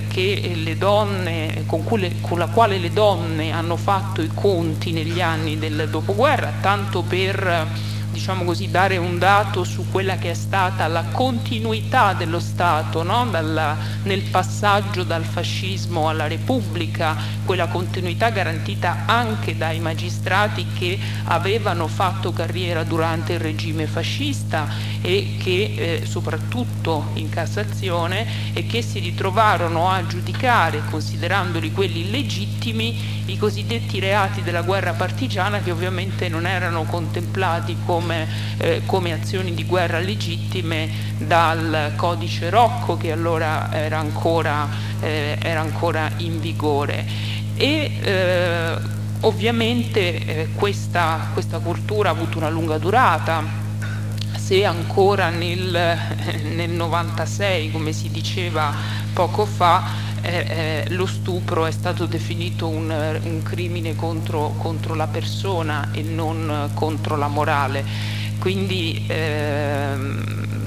decisamente ecco, forse ragionare sulla, eh, sulla questione della cultura giuridica, sulla lunga durata dei fatti della nostra storia e sulla incapacità anche del nostro paese di fare i conti con il proprio passato e sui, diciamo così, sui vuoti di memoria che eh, questo Paese ogni tanto ha, eh, perché ogni tanto forse si dimentica la, uh, la storia del uh, passato e è incapace di riflettere eh, sul, sul, presente proprio a causa di, questa, di questo deficit della memoria, potremmo, potremmo dire.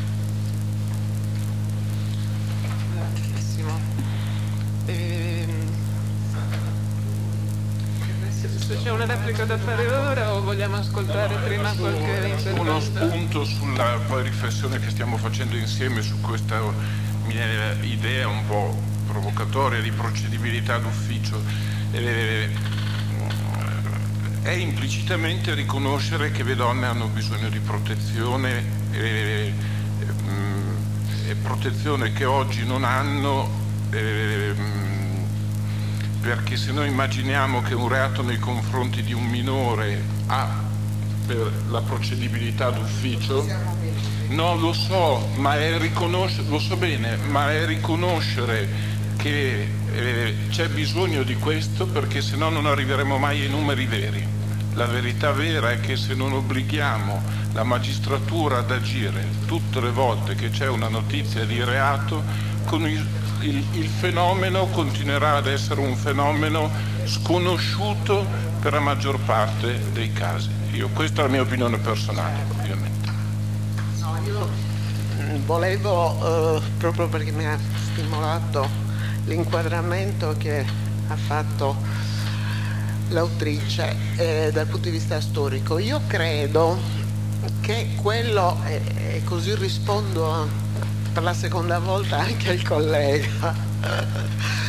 io credo che dal punto di vista proprio sociologico oggi è cambiata la violenza perché la violenza che giustamente si diceva questa storia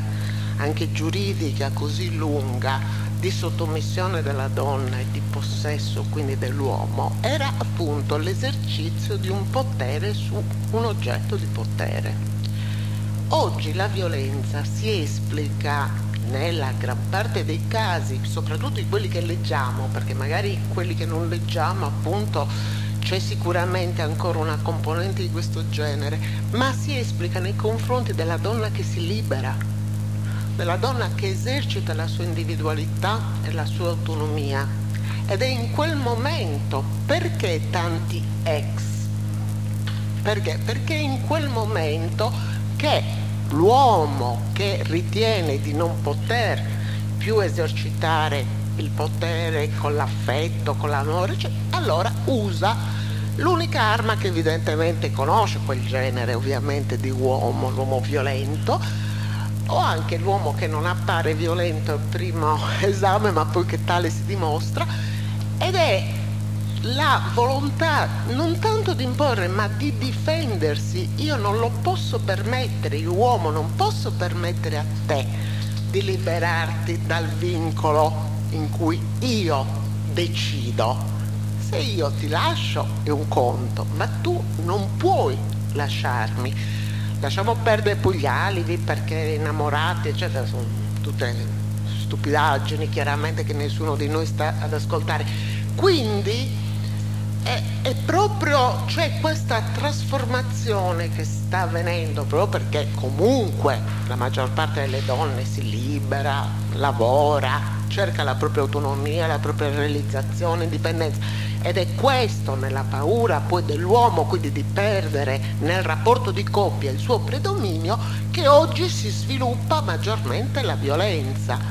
Perché non c'è, io credo che ormai abbiamo poche giovani coppie in cui la donna possa ritenersi sottomessa all'uomo nella società moderna. Possiamo ancora pensare a generazioni passate, ma le nuove generazioni stiamo vedendo le, i femminicidi sono quasi tutti,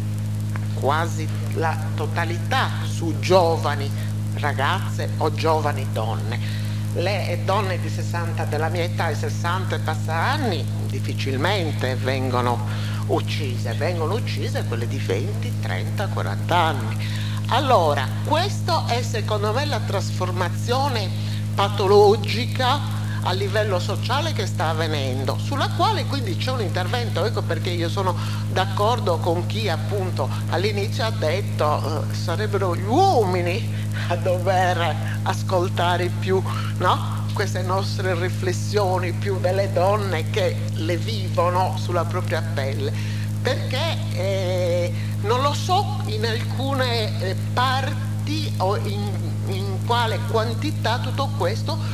sia, eh, come dire, consapevole. E invece noi dobbiamo farlo emergere, dobbiamo far emergere questa nuova dimensione della violenza alla donna, perché forse è anche il modo di far difendere la donna, di renderla consapevole di come si deve difendere senza bisogno che qualcuno gli faccia il processo senza che lei lo voglia.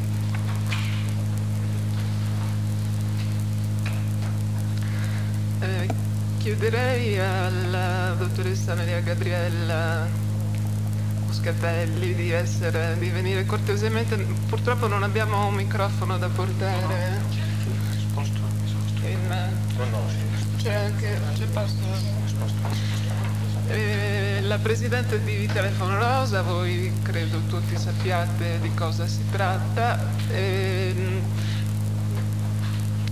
vorrei eh, semplicemente dire questo. Io ho avuto il, il piacere di leggere, di avere a disposizione degli atti di un convegno che si è svolto nel 96 a Roma, organizzato dal Comune di Roma,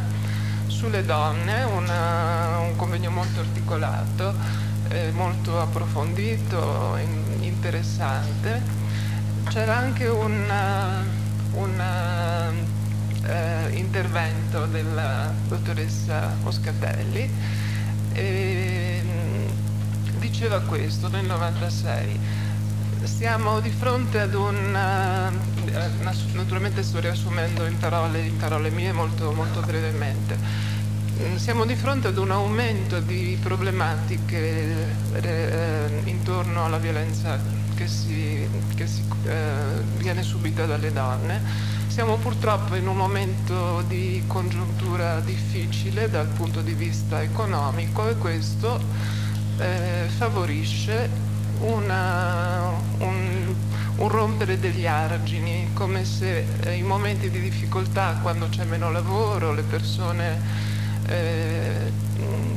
gli uomini stanno più in casa, sono disoccupati, sono in, inquieti e c'è quindi un, un riflesso che va a, a, a dare questa luce di tragedia più che mai. Eh, naturalmente noi tutti stiamo vivendo nel 2012 una crisi purtroppo ben più profonda, più, più lunga e quindi questa, questa cosa, ecco, chiedo comunque alla, alla dottoressa di, di darci una sua riflessione anche su questo punto. Grazie. Io mh, mm, voglio solo dire che il telefono rosa è nato nell'88, quindi passato è passato attraverso le leggi del 96, del 2000 sulla protezione o l'allontanamento del violento, come uso dire, fino arrivare allo stalking. Lo stalking è l'ultima battaglia che insieme a Paola Lattes, qui presente avvocato, abbiamo portato avanti per diverso tempo e vi dirò che eravamo arrivati quasi alla soglia dell'approvazione quando è caduto il governo e per noi è stato un momento drammatico. Io però qui vorrei vedere il problema della violenza sulle donne da un altro punto di vista. Scusatemi, eh, qui siete tutti avvocati e il telefono rosa è composto da avvocato, psicologo e volontarie. Eh, ma, mi scusi? No, dico però non avvocati.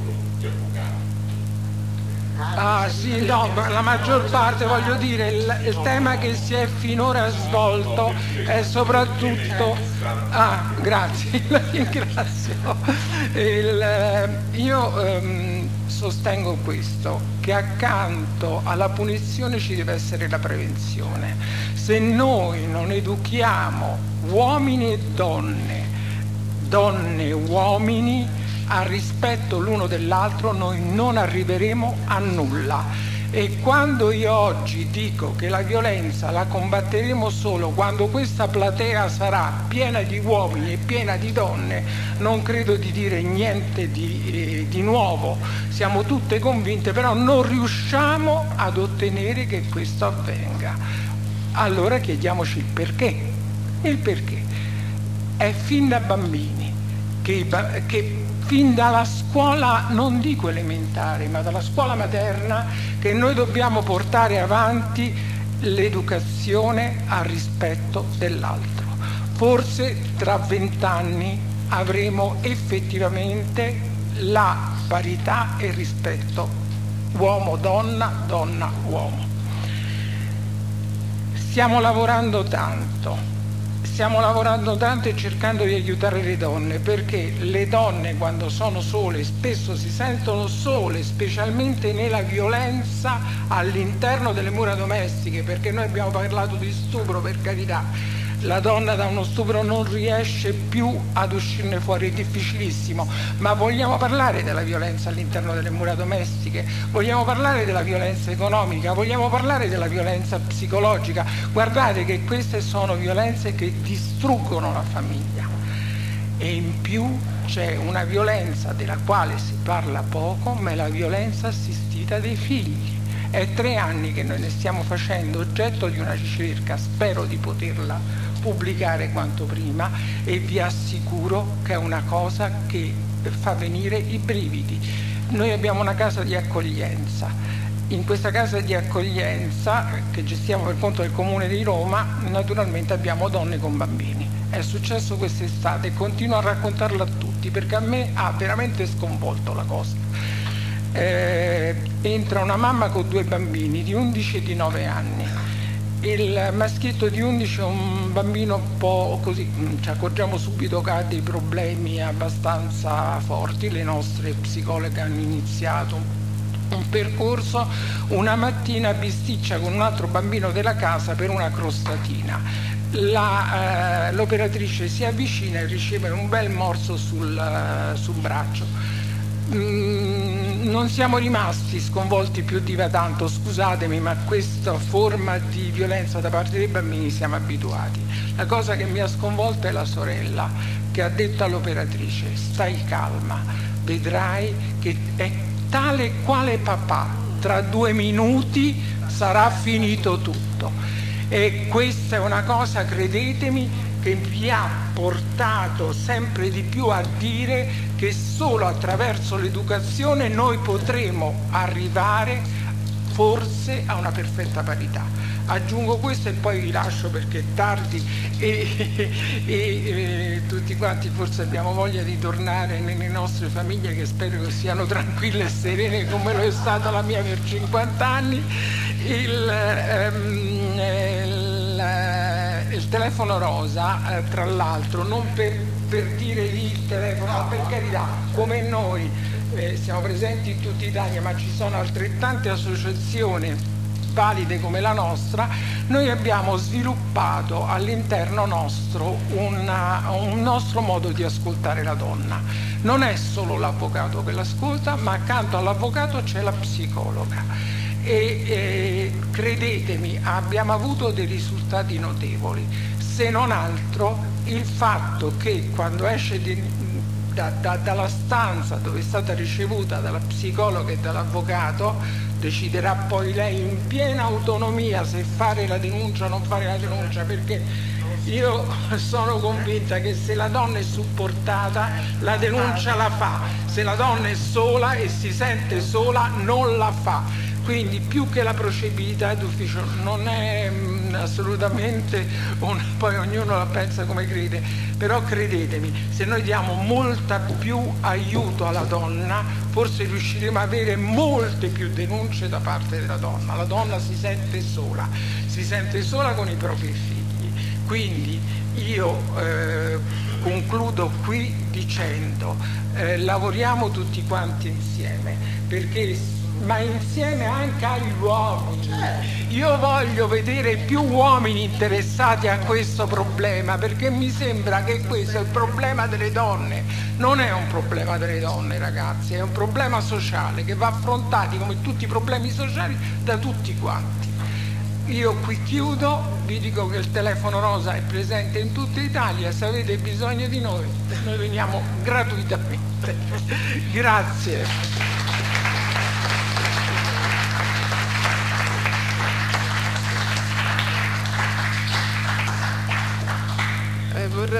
chiamare qui um, da noi a, al microfono o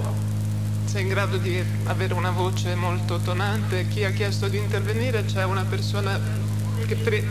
sì, sì, eh, ci sono due persone e poi una terza. professionale perché io sono di 1994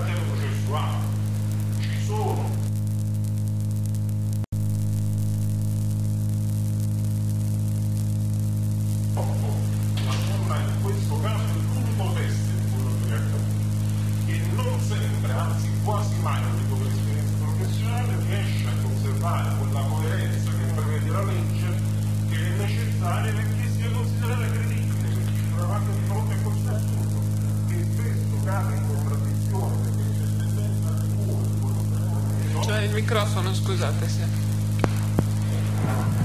Dicevo, c'è tendenza a rimuovere quello che è accaduto e quindi cade in contraddizione e non diventa più credibile. Di fronte al magistrato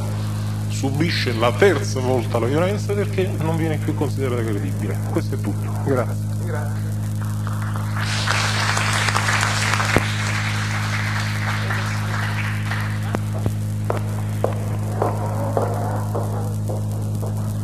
Grazie, io non sono un avvocato, mi occupo di procedure UNESCO e di culture tradizionali. Eh, sono grata all'avvocato D'Antuoni perché ha parlato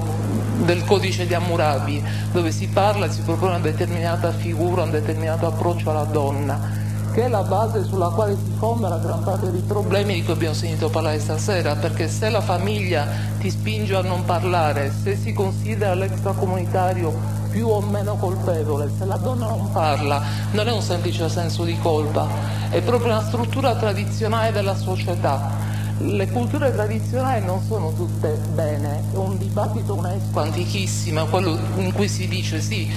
la cultura della produzione di un determinato prodotto all'interno delle culture amazzoniche, per esempio, produce prodotti tradizionali ma devasta la foresta. Allora questo è l'approccio secondo me. Mi piacerebbe che nel parlare con i medici, nel parlare con gli assistenti sociali, nel fare i corsi di formazione anche a scuola, soprattutto a scuola con i ragazzi, si parlasse anche storicamente di quello che è, del perché una donna non denuncia e penso che non sia purtroppo soltanto senso di colpa ma anche qualcosa di un po' più grave.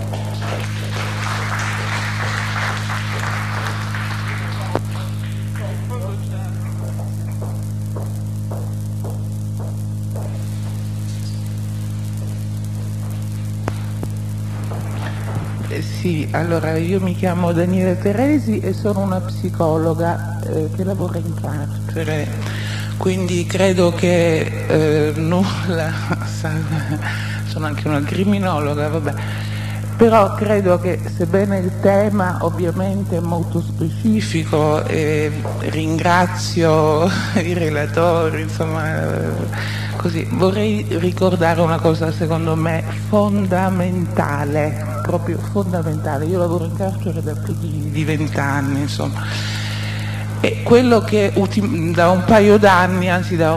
quattro anni circa, eh, sono stata incaricata di occuparmi degli autori di reati sessuali, sex offender e quant'altro,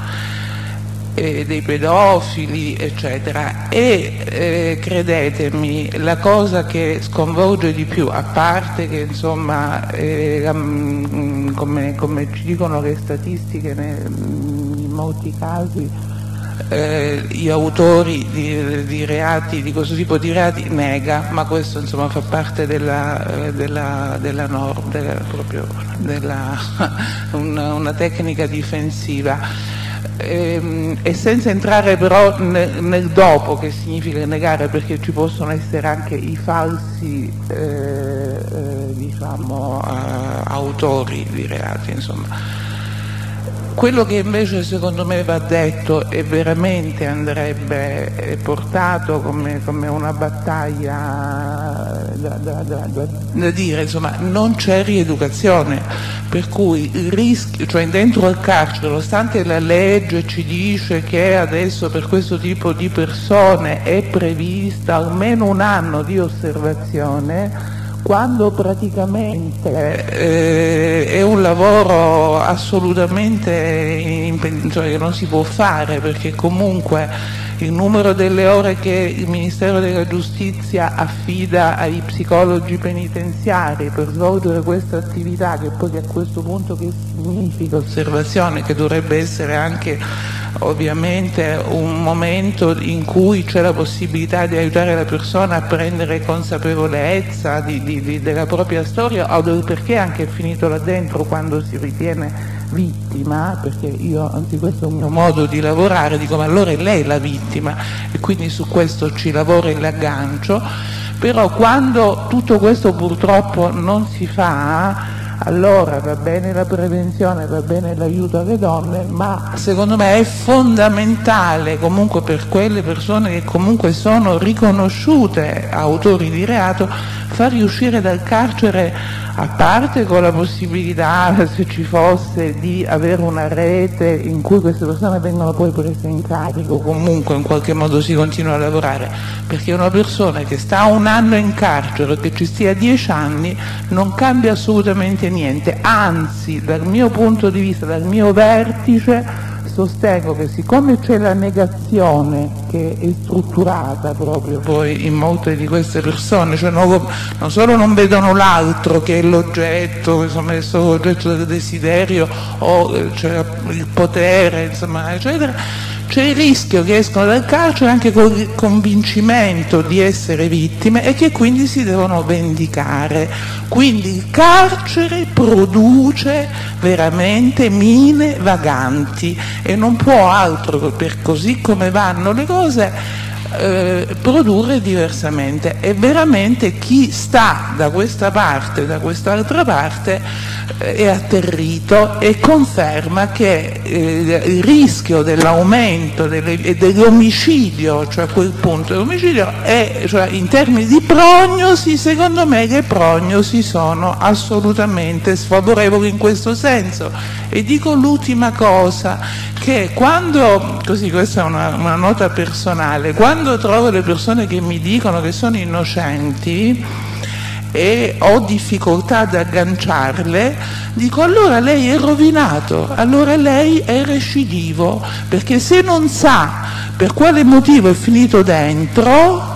ehm, e non se lo vuole domandare non, e io le offro questa opportunità di capire che cosa è successo, stia tranquillo che se in un posto X c'è un, qualcuno che fa una denuncia di questo genere, il primo ad essere con, acciuffato se, se cioè, e lei ritornerà in carcere, quindi lei corre di avere un rischio di recidiva altissima. In questo modo in genere aggancio anche le persone. Però credo che nel, nel progetto, nelle vostre proposte, veramente bisognerebbe fare molto anche in questo senso, eh, spendere tempo e denaro per aiutare anche gli autori di reato, perché altrimenti non se ne esce.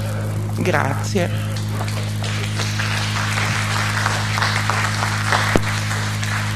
Noi abbiamo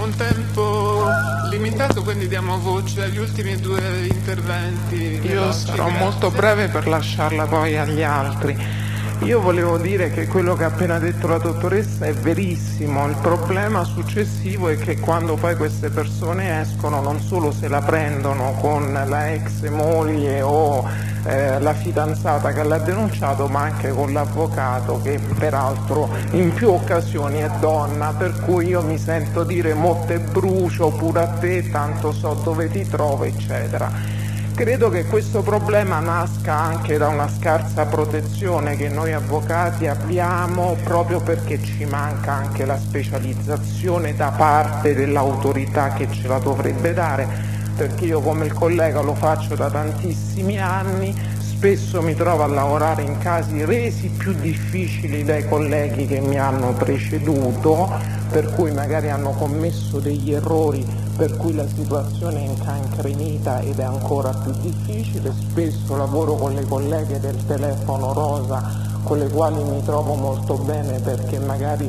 eh, ci dividiamo delle situazioni tra il penale e il, e il minorile, però io ritengo che fondamentalmente non è solo necessaria la presenza dell'uomo qui che potrebbe essere auspicata e che quindi prevenire significa forse una diversa educazione sin da fanciulli.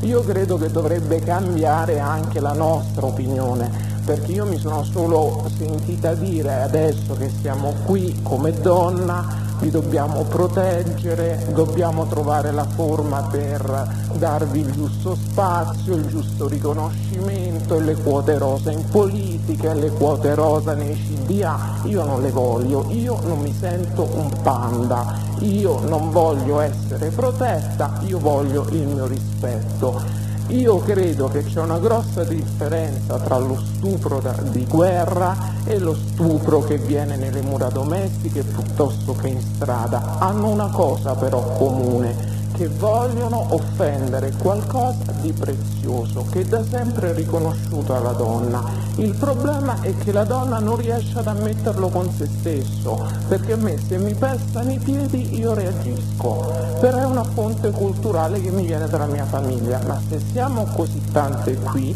forse non sono sola. Lo studio anche a noi ragazzi rispetto alle nostre madri, alle nostre nonne, ci aiuta tantissimo, quindi forse sarebbe necessario per chi è nei nostri posti istituzionali per riconoscerci una specialità e so che il Consiglio nazionale forense in questo già ha fatto dei tentativi,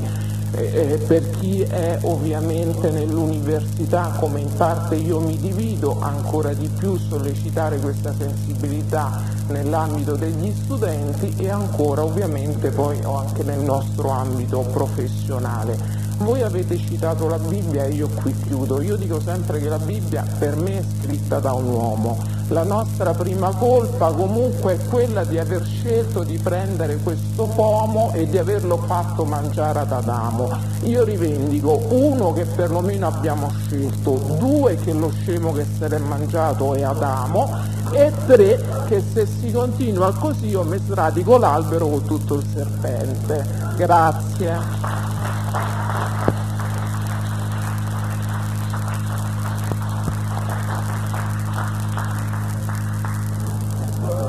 Ma io credo che se ci troviamo in queste mm, diciamo così, situazioni è perché ci sono dei modelli culturali che sono reiterati costantemente. Allora, noi vediamo costantemente al cinema, alla televisione e sono modelli importanti soprattutto per le nuove generazioni perché l'impatto visivo insomma dà un imprinting. Allora se io fin dalla più tenera età vedo che per affermarmi devo sempre essere nuda mentre tutti gli uomini sono vestiti in tutti i talk show, no? Salvo questi. Se vedo nelle telenovele che noi siamo costantemente, ah poverine nervose, si prendono la sberla, ecco, cioè questi modelli culturali incidono. Come ci comportiamo? Allora abbiamo una generazione per esempio di giovani alcolisti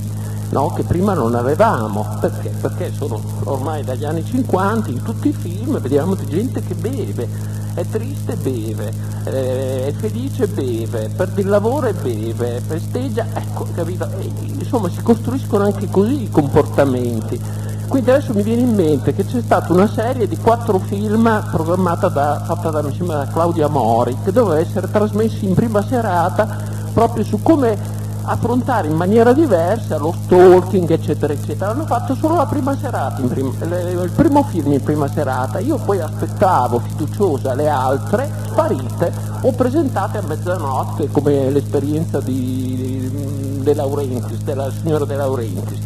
E quindi voglio dire, i, i maschi, salvo i presenti, fanno una guerra molto attiva per opporsi a questi comportamenti diversi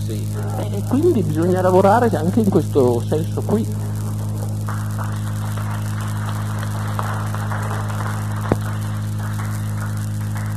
Solo una battuta per non delegittimare la Bibbia proprio fino in fondo. Eh, probabilmente, il tra- probabilmente il, traduttore era un uomo, vi faccio solo una battuta. Voi sapete che la traduzione, il passo dove nella Bibbia si parla della donna che nasce da una costola dell'uomo, in realtà la traduzione non è quella, perché il passo della Bibbia dice in realtà che Dio divide a metà, non crea un pezzo dalla costola, ma divide a metà. La traduzione maschile del pezzo della Bibbia era che stacca un pezzo, della... in realtà Dio ha diviso in due ciò che aveva creato.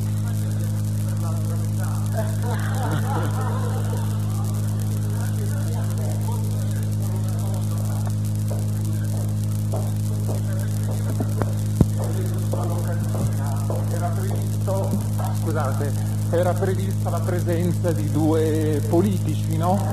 Ecco, non sono presenti, non voglio sapere perché non ci sono, però a dirla come, come direbbe Jung, nulla accade a caso.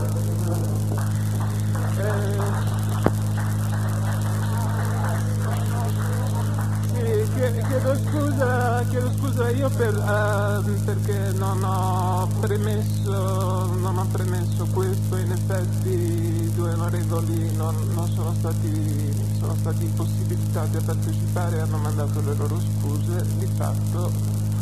abbiamo avuto un dibattito molto interessante dove mi sembra che il focus comunque rimanga sul cambiamento che avviene come attraverso la crescita culturale, non c'è altro modo.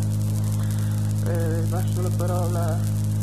solamente per il ringraziamento prima Enrica Verlini che insomma era doveroso che una donna moderasse logicamente questo convegno poi agli intervenuti a Susanna Pisano, a D'Agostino D'Antuoni, a Michela Ponzani e a voi tutti che siete venuti qui. Le... Una parentesi ricordo che il libro di Michela Ponzani, edito dei Naudi, è disponibile, cioè il signor Maurizio, per chiunque voglia logicamente ordinarlo. Parlamentari criticali fanno queste azioni di convegni non per parlare e basta. La cosa bella è che ognuno di noi che è qui come una monade possa trasmettere almeno ad altre persone quello che, di cui si è discusso questa sera L'unica forza è questa, si vedono tanti convegni in cui si parla, si parla, dopodiché si va fuori, logicamente ognuno ha i propri negozi, latinamente parlando. Siamo qui, si è in tanti, forse si riesce a fare qualcosa, anche solo comunicandolo, come diceva giustamente la signora, educando non solo i bambini, ma anche gli adulti che forse sono recuperabili. Grazie a voi tutti, grazie logicamente a chi ha parlato e alla prossima. Mi raccomando da, da segnare logicamente in chiusura. Grazie Antonio.